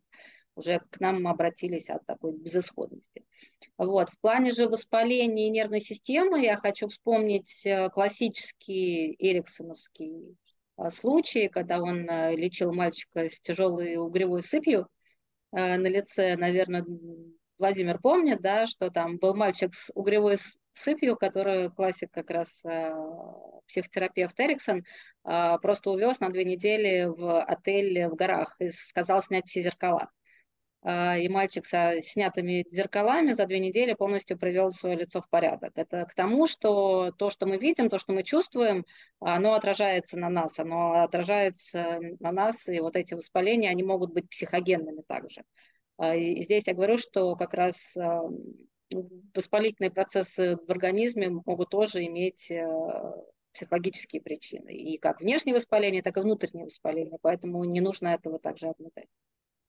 Вот мне вспоминается подобный случай, когда пациентка просто приехала отдохнуть совершенно случайно с серьезными аутоиммунными состояниями, с сахарным диабетом первого типа. Приехала пациентка на э, южный берег э, красивых тропических островов. Случайно. Это был как некий подарок судьбы для нее. И у нее случилась ремиссия, доказанная по уровню гликемии, всех анализов и сахарного диабета, ее аутоиммунное состояние, оно значительно улучшилось. Поэтому э, я говорю, что практически в любом, даже аутоиммунном заболевании можно вычленить э, психосоматические факторы. Другое дело, что вернувшись обратно, симптомы у нее вернулись, и это, в общем, заставляет подумать о том, как мы живем нашу жизнь и какая здесь осознанность, какая здесь когнитивная и поведенческая сторона, как она играет роль. Да, или... Вот, э, я бы хотела еще добавить, что э, не нужно считать, что только растительные и грибные антидепрессанты могут э, работать с психосоматикой, даже психотерапия. Э, я когда работаю с нашими клиентами, пациентами, я всегда говорю, что есть э, много вариантов э, действий, которые работают с психосоматикой, даже лучше, да, те же прогулки, тот же массаж, те же там солнечный свет, да, тоже очень хорошо влияет на на сон. Потому что, если мы говорим о кейсах, у меня тут был человек, который рассказал, что у него а, большие расстройства сна, а, высокий сахар, э, даже ожирение. А, я с такими людьми говорю, слушай, а ты человек мой дорогой, как живешь? Сколько ты гуляешь, куда ты ходишь, как ты двигаешься, какая у тебя жизнь? Когда, вот, ну, я говорю, когда вы последний раз э, выходили, сколько гуляли, как ваша жизнь в неделю, когда вы гуляли последний раз? Он говорил, я выходил назад, месяц назад я выходил там ненадолго куда-то. Я говорю, ну что вы тогда хотите? И расписала ему, и на самом деле даже практически я ему не прописала никаких препаратов. Я говорю, вы для начала вытащите себя за шиворот из-за компьютера, и просто вот начните гулять, начните двигаться, начните как-то дышать, начните смотреть вверх, и как-то вот поменяйте свою жизнь. И очень часто а, это работает, ну, не хуже, по крайней мере, чем а, даже растительные грибные препараты. И вот изменение своей жизни, куда-то переезды часто людей вытаскивают из более неприятных вещей, чем метаболический синдром. Поэтому я почти всегда, если говорю, работаю с людьми с расстройствами сна, с нарушениями сна, с какими-то психологическими проблемами, также э, говорю про вот такие вот вещи типа ЛФК, движения и природы, леса. Это тоже очень хорошо ну, на них. Конечно, Лена, совершенно верно. А главное, очень дешево. Дешево, Если не про тропические острова говорить, а про наши леса, это еще и не очень дорого. И особенно это важно в возрасте, да, потому что любая новая информация, смена обстановки, она прекрасно влияет на когнитивную сферу, да, и это самый простой и э, недорогой, да, и безусловно эффективный способ поддерживать в том числе свою когнитивную сферу, да, если там чуть-чуть психосоматику заглянуть, да, более, так сказать, здоровом состоянии. Мне, знаете, что, друзья мои... Да. Я, я, я хотел сказать, сказать очень да. кратко. Если мы посмотрим и гайдлайны, официально действующие, порядки помощи, утвержденные Минздравом, по большинству заболеваний, и в том числе психосоматических, мы увидим, что первый пункт в разделе «Рекомендованное лечение» – это не лекарственные методы лечения. Больш... Везде написано с высоким уровнем доказательности, модификация образа жизни, изменение поведенческой э, стратегии, увеличение физических нагрузок, коррекция диеты, там, вакцина, профилактика, э, проветривание воздуха, увлажнение и так далее, а уже потом, потому что не таблетка единой. А, а, а, как бы, так что уж неважно, пищевая добавка, комплементарные методы лечения или конвенциональная общепринятая медицина, но от этого мы не уйдем никогда, от изменения образа жизни. Ну да, и не, не зря возникло словосочетание аббревиатуры из трех букв ЗОЖ, да, поскольку это, в общем-то, тоже, безусловно, туда. Э, знаете, что меня э, расстраивает по всему ходу нашей беседы? То, что Елена с завидной регулярностью, а Владимир иногда и иносказательно, так или иначе употребляют слово «безысходность». Да? Вот когда пациенту, там, человеку не помогает что-то из области официальной медицины, он перепробовал все на свете, вот только после этого он обращается к фитотерапии, микотерапии да, и прочим видам, ну, назовем, пусть так, так людям еще понятнее, да, альтернативной медицины. Хотя никому из нас не нравится этот термин.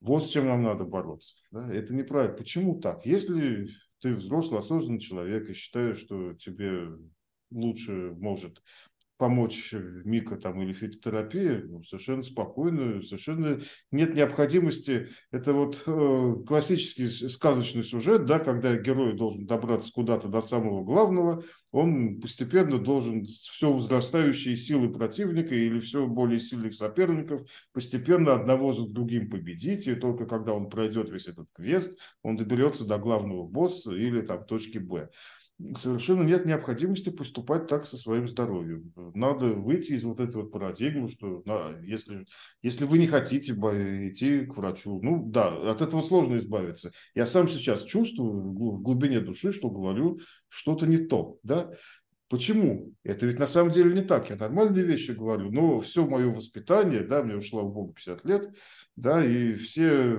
парадигмы и максимы, которые в голову мне погружались, да, вся социальная среда, в которой я рос, она говорит о том, что если ты болеешь, должен пойти к врачу, врач должен назначить таблетку, а еще из тех времен, да, 19 и прежние века идет, что лекарство, оно хорошо работает, если оно горькое, да, это все тоже туда. Да, вот если дорогое, горькое, го, дорогое, горькое, трудно доставать. Да, дорогое, горькое, да, вот, вот, вот это вот все. На самом деле в наше время мы смело можем все это отбросить. Не нужна никакая безысходность. Если вы считаете, что вашему организму помогут растения, там, грибы, препараты животного происхождения, можно просто сразу с них начать и попробовать. В конце концов, не получится. Ну да, скажете, я был неправ, давайте я тогда скажу к врачу или сделаю еще что-то. Э, мы все понимаем, что вот, вот эта вот амбивалентность, она ужасна, да, вроде бы правильные надписи не является лекарством, да, или перед употреблением э, советуйтесь с врачом или специалистом, это воспринимается уже всеми как отписка, да, никто не относится к этому серьезно, а так не должно быть. Да, человек должен осознанно понимать, что да, если вот он принимает такое-то решение, и при этом он не уверен полностью в своей базе знаний, да, он должен действительно сходить к специалисту, посоветоваться с врачом, да, или там что-нибудь почитать в конце концов. Вот когда мы от этого всего избавимся, у нас прям будет все по-настоящему хорошо. Да, Владимир? Это идеальная ситуация, но э, я хочу сказать здесь э, в защиту себя и коллег, потому что мы же связаны принципами и правилами существования, определенными законами, хотим мы или нет, это надо исполнять, и рисками пациента. Это очень важно. Рисками пациента и доказанностью. Если мы говорим в рамках психосоматики и использования дополняющих методов лечения, я не приемлю термин а, альтернативный, я против него борюсь. Я считаю, что это комплементарное, дополняющее лечение, а не всегда альтернативное. И одно дополняет другое. Это же очень важно. А, аппендэктомия, как хирургический метод лечения, он будет дополнять другие лекарственные и нелекарственные методы лечения. Там, да, есть прекрасные нелекарственные методы лечения психосоматических расстройств. Транскраниальная магнитная стимуляция, например просто стимулирование определенных зон мозга магнитным полем, да, определенная СВЧ-печка тут такая находится, э, включается на несколько секунд, и это делается с интервалами, показывает очень высокие эффекты, очень хороший эффект с точки зрения времени. Есть случаи остановки э, эпилепсии, например, да, когда пациент чувствует, э, там, или мигрени с аурой. Мигрень с аурой э, может быть приостановлена просто разрядом однократным магнитного поля. И такие приборы сейчас уже есть там в западных странах. Я говорю о том, что, видите, вот и таблетками, и не таблетками, и общепринятым лечением, и другими методами лечения мы можем проблему решать. Но с другой стороны, врач, например, находится в состоянии, что если психосоматика, то высок риск при некоторых расстройствах высок риск суицида. У пациента будет суицид, не дай бог, никому не желаю. А врач лишается диплома, имеет разговор с прокурором. И современные порядки требуют от него госпитализацию, назначение препаратов, входящих в рекомендации, в гайдлайны и так далее, с уровнем доказательности. Здесь есть нюансы. Есть обратная сторона вопроса. Там, мы, не, не придя к врачу вовремя по, э, на свои силы попытавшись опереться, можно пропустить развивающийся онкологический процесс. Можно неправильным образом трактовать симптомы, думать, что это психосоматика, а это психосоматика и в сочетании с каким-то, э, например, очаговой инфекцией. Поэтому я всегда за то, чтобы спрашивать мнение специалиста. И я считаю, что да, пробовать разные методы э, пациент имеет право, но мы должны а, обязательно информировать пациента и как минимум спрашивать мнение коллег э, и стараться все-таки его э, до специалиста довести. Даже лучше электрика вызвать, чем самому делать ремонт и копаться в электрощитке, понимаете? Вот, а что уж говорить про здоровье. Да, да. спасибо. Да. Ну, я тут, я, я ни тут, Миша... не призываю к самолечению, я просто э, пытаюсь объяснить, что разные подходы, особенно если их использовать одновременно, это может быть гораздо более эффективно, чем пытаться действовать э, каким-то одним путем, неважно, он традиционный или новый интегративный. Я думаю, Миша нас э, специально вывел я на немножко троллю, прошу прощения. активных спичей, чтобы троллю. мы сказали, не-не-не, конечно же нет. Я думаю, что Миша специально так сказал. А, я объясню, чем хорошо, когда к нам приходят люди, от которых все отказались. А у нас при этом гораздо меньше вот эта ответственность, да. А когда человек уже все попробовал, ко всем врачам сходил, а мы его тут вылечили. Это же какой вообще удивительный случай, да. Какой вообще, какая радость, что вот все, этот попробовал, кардиолог не вылечил, невропатолог не, не вылечил, кто-то еще там не вылечил, а вот мы вылечили. Это у нас э, сразу куча плюшек, потому что мы э, от э, такого вот э, пациенту помогли, да, это всегда очень хорошо.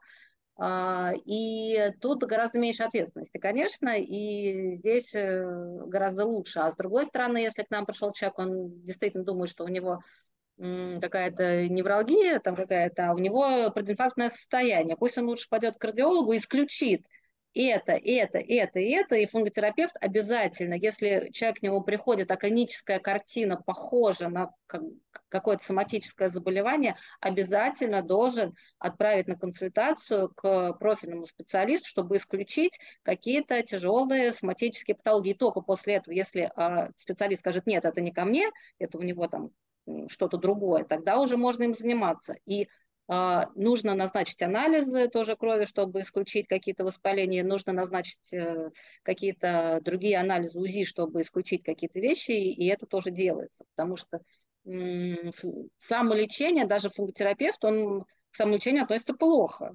Потому что даже те же грибы некоторые э, не всегда хорошо принимать с чем-то другим. И мы тоже думаем про сочетание а, разных препаратов, и тоже грибов с какими-то антидепрессантами, и мы тоже исходим из того, что самолечение даже грибами это вещь э, такая опасная, надо исключать какие-то... Ну, да, действительно, случаи, я бы здесь мог грибами не лечатся. много. Я бы здесь, вот как раз я бы мог здесь рассказать очень многое, но я не буду, потому что в данном формате я все-таки скорее интервью. Но Елена сказала совершенно правильно, и, и про радость нашу сказала правильно, типа там дед бил, бил, не разбил, да. Да, бабка била. А бил. мышка вдруг неожиданно а, разбила, да фунготерапевтическая мышка пробежала, хвостиком моркнула и опаньки. Но на самом деле здесь же действительно очень важная вещь – это гораздо меньше ответственность. Это вот как, допустим, если сравнить врача-диетолога да, и врача или нутрициолога.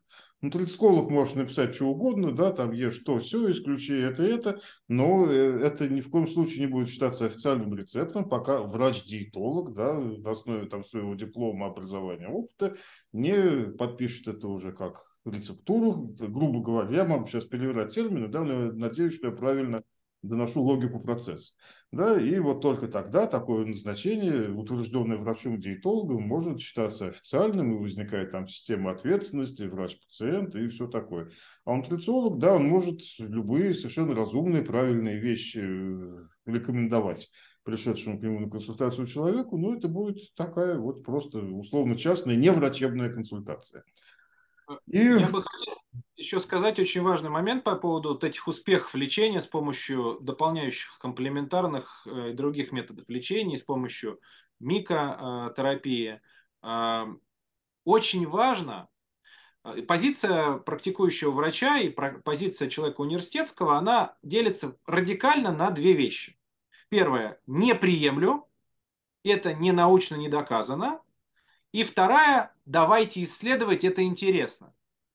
И э, мне кажется, на этих феноменах оно и следует э, ставить развитие медицины, это исследовать. Но если есть такие успешные случаи, то наша ответственность, да, вот меньше ответственности в одном случае, как вы сказали, но наша ответственность до научного сообщества и практикующих э, специалистов донести, что такие феномены успеха есть, это каким-то образом опубликовать, да, в, найти возможности иметь какую-то периодическую печать, научные журналы и прочие остальные вещи, чтобы это продвигать, и об этом люди слышали, потому что если не делиться научной информацией, а замыкаться в себе, то это будет опасно с точки зрения развития возможных перспектив.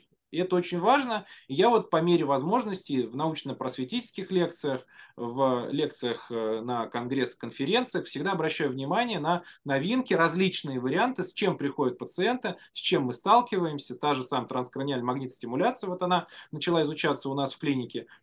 И мы с коллегами всегда делимся информацией.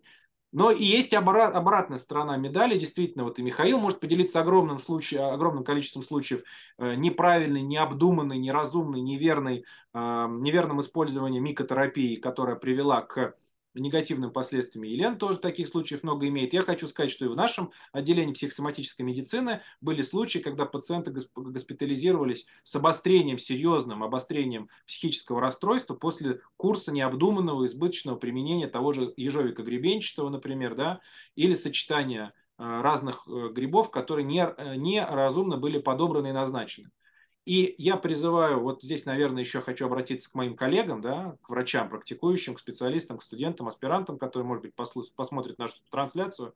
Если в социальной культуре появился феномен, влияющий на здоровье, он требует изучения. Десять лет назад начали изучать те же электронные э, курительные всякие сигареты, смеси и так далее. Против курения не призываю ни в коем случае. Вот. Но это сейчас стало частью респираторной медицины и науки. У меня кандидатская диссертация по фиброзу легких. Сейчас показано, что электронные сигареты могут вызывать фиброз легких. Также абсолютно какие-то методы лечения, да, там какие-то методы, там тайчи, например. Тайчи – это вообще китайская э, лечебная физкультура. Она может давать эффект ремиссии при разных заболеваниях опорно-двигательной системы. Казалось бы, где это и, и общепринятая медицина. Также и другие нелекарственные методы лечения, и Э, и микотерапия на сегодняшний день, она входит в естественный процесс жизни общества, и это важно очень изучать с точки зрения э, перспектив, лекарственного сочетания и так далее. Поэтому я вот призываю к тому, чтобы не от, отвергать, не отметать, а смотреть на это здравым научным языком. А то говорят, знаете, вот как, как раскол был в церкви, да, они двумя перстами крестятся, они не с нами, тремя надо. То есть нужно обязательно таблетка и миллиграммы, да, там, и так далее. Поэтому я вот против таких подходов. Я считаю, надо смотреть на все объективно. Ну, Владимир, я просто не могу не отреагировать кратенько э, на ту часть, где вы говорили о донесении до коллег научной информации. Да? Я надеюсь, что сейчас наше начинание, которое связано с э, регистрацией научно-медицинского журнала, который я пока для себя мысленно называю 3М, микрофармакология, микодиетология и микотерапия. Да? Вот я надеюсь, что в этом году нам получится такой журнал зарегистрировать, и в этом же году уже появится следующий номер. И, возможно, это станет одним из инструментов как раз донесения современной, адекватной исследовательской научной информации до широкого круга заинтересованных пользователей.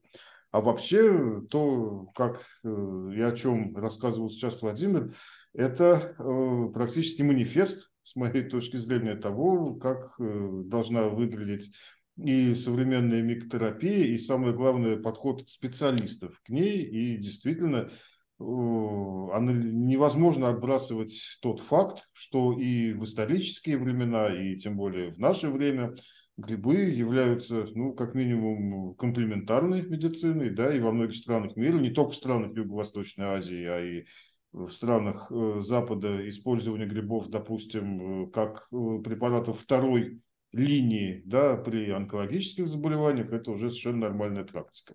Вот, поэтому Я бы даже хотел на этой замечательной ноте закончить наше общение, но я чувствую, что, может быть, нам еще есть немножечко чего обсудить, остались какие-то случаи интересные. Но в целом, смотрите, у нас э, получилась достаточно обзорная встреча. Это некое, скорее, начало, да, введение в какую-то глобальную тематику. И очень хорошо, наверное, не стоит перегружать слушателей, зрителей избыточной информацией. У нас, между прочим, с Владимиром запланирована следующая встреча, где мы обсудим необычайно интересный вопрос, который будет э, посвящен расколу фармы, то, о чем мы говорили в начале этого выпуска. Мы обсудим это обязательно подробно с примерами. Нам всем есть что в этом плане рассказать. Но теперь давайте э, напоследок мы постепенно будем готовиться к завершению программы. Елена чего-то еще хотела сказать. И, может быть, если какие-то у вас есть еще интересные наблюдения, выводы, пожелания, поделитесь, пожалуйста, этим с нашими зрителями. И дальше мы уже будем делать выводы и завершать.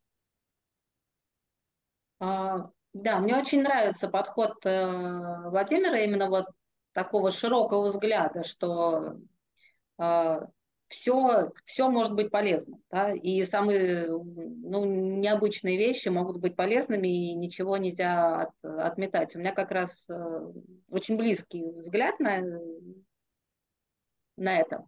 Вот. И к тому же мне очень понравилось, что вот сказали, что э, даже ежовик гребенчатый, как такой с, на первый взгляд, э, безопасный, безобидный грипп может вызвать повышение тревожности. Я с этим сталкивалась в своей практике.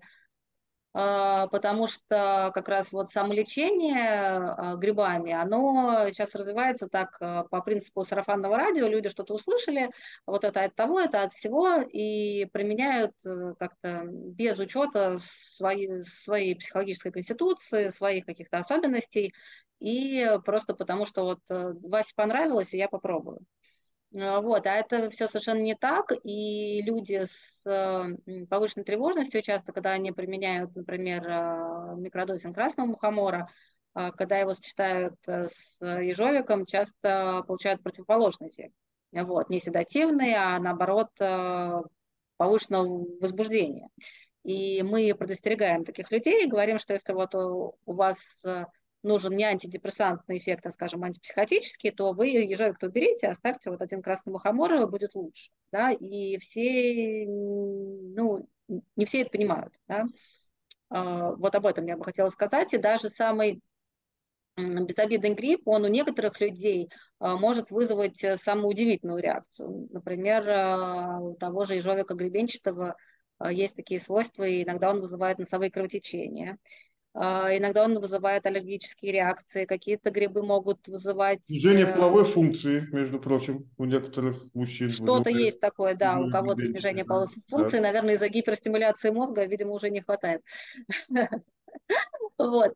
А, есть такое, что даже на лисичке, на самой безобидной лисичке у меня было два случая, когда у людей были расстройства желудка от самых, от лисичек хотя нам казалось, что уж более безобидного, безопасного гриба, чем лисички, трудно придумать, а, но даже так. То есть есть э, э, люди, которые реагируют а, плохо на ну, самые такие. Я прошу прощения. Самые, самые. Нет, это, это нормально вообще. Надо понимать, да, я для чего это говорю, нормально. что что не надо думать, что это чисто такая вот чисто позитивная вещь. Нужно ко всему подходить э, аккуратно. Нужно Значит, ко всему... Смотрите, друзья мои, давайте вот чего. Давайте потихонечку э, подходить к выводам, и я хочу в конце немножечко конкретики. Да, вот мы говорили о психосоматических состояниях. У нас вскользь упоминались разнообразные грибы. Обратите внимание, да, если вы обратили внимание, то чаще всего у нас упоминался мухомор красный ежовик гребенчатый, да, вот эти два гриба. И это, естественно, говорит о том, что их э, влияние на человеческую психику, оно, скорее всего, самое выраженное. Значит, о чем я хочу сказать отдельно, дополнительно, и прошу обратить на это внимание, это о том, что психоактивных грибов гораздо больше, чем об этом принято думать, в том числе думать официально. Понятно, что есть псилоцибиновые грибы, да, это капитан очевидность, тут все понятно, да, там серотониновый ряд и Тут как бы нечего обсуждать, но мы с ними не работаем, потому что они контролируются на территории Российской Федерации. Есть мухомор красный и другие его родственники, которые содержат разнообразные алкалоиды. Это там мусцимол и, если не повезло, и ботеновая кислота. А если это пантерный мухомор, то это еще и алкалоиды там скополаминового ряда, геосциамин, скополамин, да и так далее. Это тоже, безусловно, понятная история. Но есть и другие потенциально или безусловно психоактивные грибы, на которые разные пользователи реагируют по-разному. Кто-то может не отреагировать, кто-то может отреагировать. Тот же ежовик. Да, раньше это были такие в профессиональной среде более или менее скрываемые сведения. Вот Лена даже сейчас мне показывает, что об этом не надо говорить. Но достаточно залезть в Википедию, да, просто почитать в Википедии, и это сведения там уже больше года как опубликованы, что основные действующие вещества ежовика, там тот же ириноцин, по сути, по своей... Я понимаю, что Лена считает, что сейчас ежовик запретят, да, но я не думаю, что это повод. Нет, ну, Миш, это потому не что... надо говорить, это надо... Ну, Миш, ну, потому что Хорошо, ну, не, не надо. надо. Владимиру не расскажу. Надо. Вдруг он, Владимир в курсе? Владимиру можно рассказать, но ну, это, это да, надо потом вырезать, по потому сути, что не надо это муссировать, Миш. Я хотел говорить с тобой одновременно. Значит, э, если мы возьмем валиноцин, то, по сути, с биохимической точки зрения он представляет собой замороженную конфигурацию псилоцин. Да, это вот прямо одно и то же. Да, поэтому там, ну, хвостов побольше немножечко, да, ну, собственно, все, да, там в одном месте замкнуто по четвертому там атому углерода. Вот, э, то есть, э, хорошо, давайте, исходить из того, что, возможно, этот блок мы вырежем, я не понимаю, зачем. Я начну мысль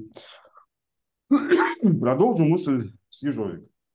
Значит, многие грибы, и не только мухомор и псилоцибиновые, обладают потенциальной психоактивностью. Сюда относятся и ежовик. Многие употребляющие этот гриб видели, допустим, яркие цветные сны. Да, такая реакция есть. Иногда даже контролируемые, управляемые сны. Такие грибы, как чешуйчатки, например, чешуйчатка чешуйчатая, тоже может вызывать э, реакции э, вполне э, психического содержания. Среди прочего было установлено, что некоторые популяции чешуйчатки содержат меконовую кислоту, а это уже в сторону попадает сомниферум, да, мака и так далее, и так далее. Есть грибы, которые традиционной медицине, в традиционной, я имею в виду не в современной, да, вот классической восточной медицине, считаются энергетиками, тот же Майтаки или Кардицепс, или э, Филинус швейниц, такой трутовик коричнево-желтый интересный, которые при э, внятном употреблении, когда счет идет там на сотни граммов, они вызывают э, серьезное возбуждение, которое может сопровождаться в том числе галлюцинациями. Это, как правило, индивидуальные реакции, но это несомненное влияние на психику грибов. Более того, уже установлено достаточно э, большое количество случаев, когда не только интоксикация, а еще и сопутствующие галлюцинации возникают при употреблении обычных сморчков. И сейчас э, даже появилось название сморчковый нейрологический синдром. Да, поэтому, э, в принципе, грибам нужно аккуратно, да, с известной осторожностью относиться как к психотерапевтическому инструменту, очень мало исследованному в настоящее время. Есть вот всего одна большая хорошая исследованная группа грибов. Действительно, это псилоцибиновые грибы, да, и эта активность сейчас развивается во всем мире.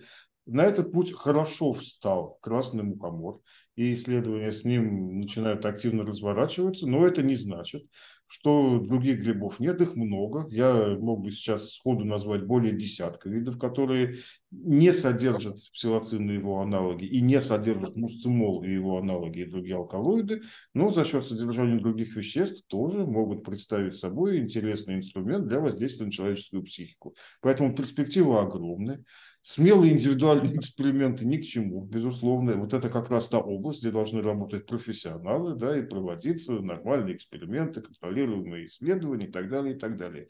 Но грибы – это нечто с огромным потенциалом, и мне кажется, что за ними серьезное будущее именно как в плане психотерапевтических агентов. Вот это то, что я хотел особенно подчеркнуть.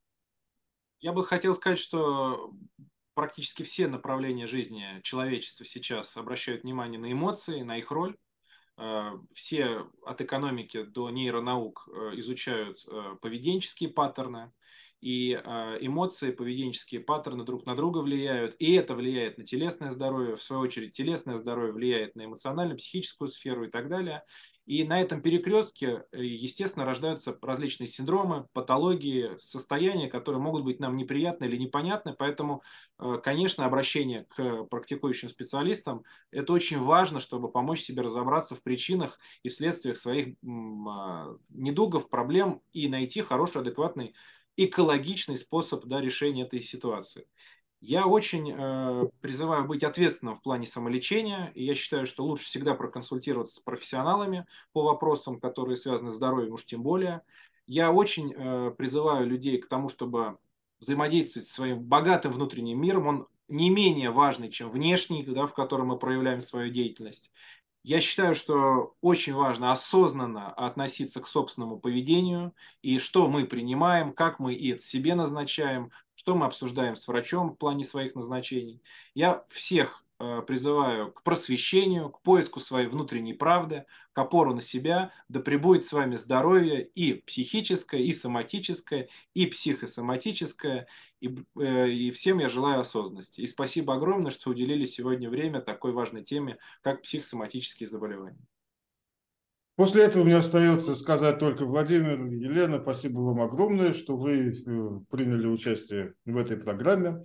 И мне остается только присоединиться и к э, напутствию, и к призыву Владимира. Да, действительно, обращаясь к специалистам, это единственный, наверное, правильный поступок. Если вы хоть немножечко не уверены, а даже если вы полностью уверены в том, как вы можете вылечить себя сами, все-таки менее специалист, который обладает богатой практикой, который получал, в отличие от вас, скорее всего, да, профильное образование, как минимум, к его мнению, стоит прислушаться. А дальше, да, вы уже на свой страх и лист можете принимать какие-то относительно себя и своего здоровья решения. Друзья мои, я был очень рад, что мы с вами так пообщались. Дорогие зрители, я рад, что вы, я надеюсь, до конца посмотрели эту программу, сделали для себя какие-то полезные выводы, получили какие-то новые знания.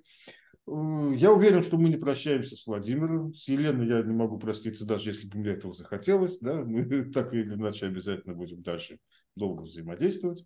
Вот. Э, я бы очень хотел видеть Владимира на наших дальнейших программах, потому что сейчас мы действительно только-только обозначили да, взаимодействие медицины, э, психосоматических расстройств, микотерапии. И вот мы стали на эту прекрасную дорогу, на этот светлый путь. И мы будем и дальше держать вас в курсе каких-то новых интересных открытий, событий, будем доносить до вас новую актуальную информацию. И на этом я прощаюсь с вами. Спасибо, что были с нами. С нами грибы, а значит, с нами Вселенная.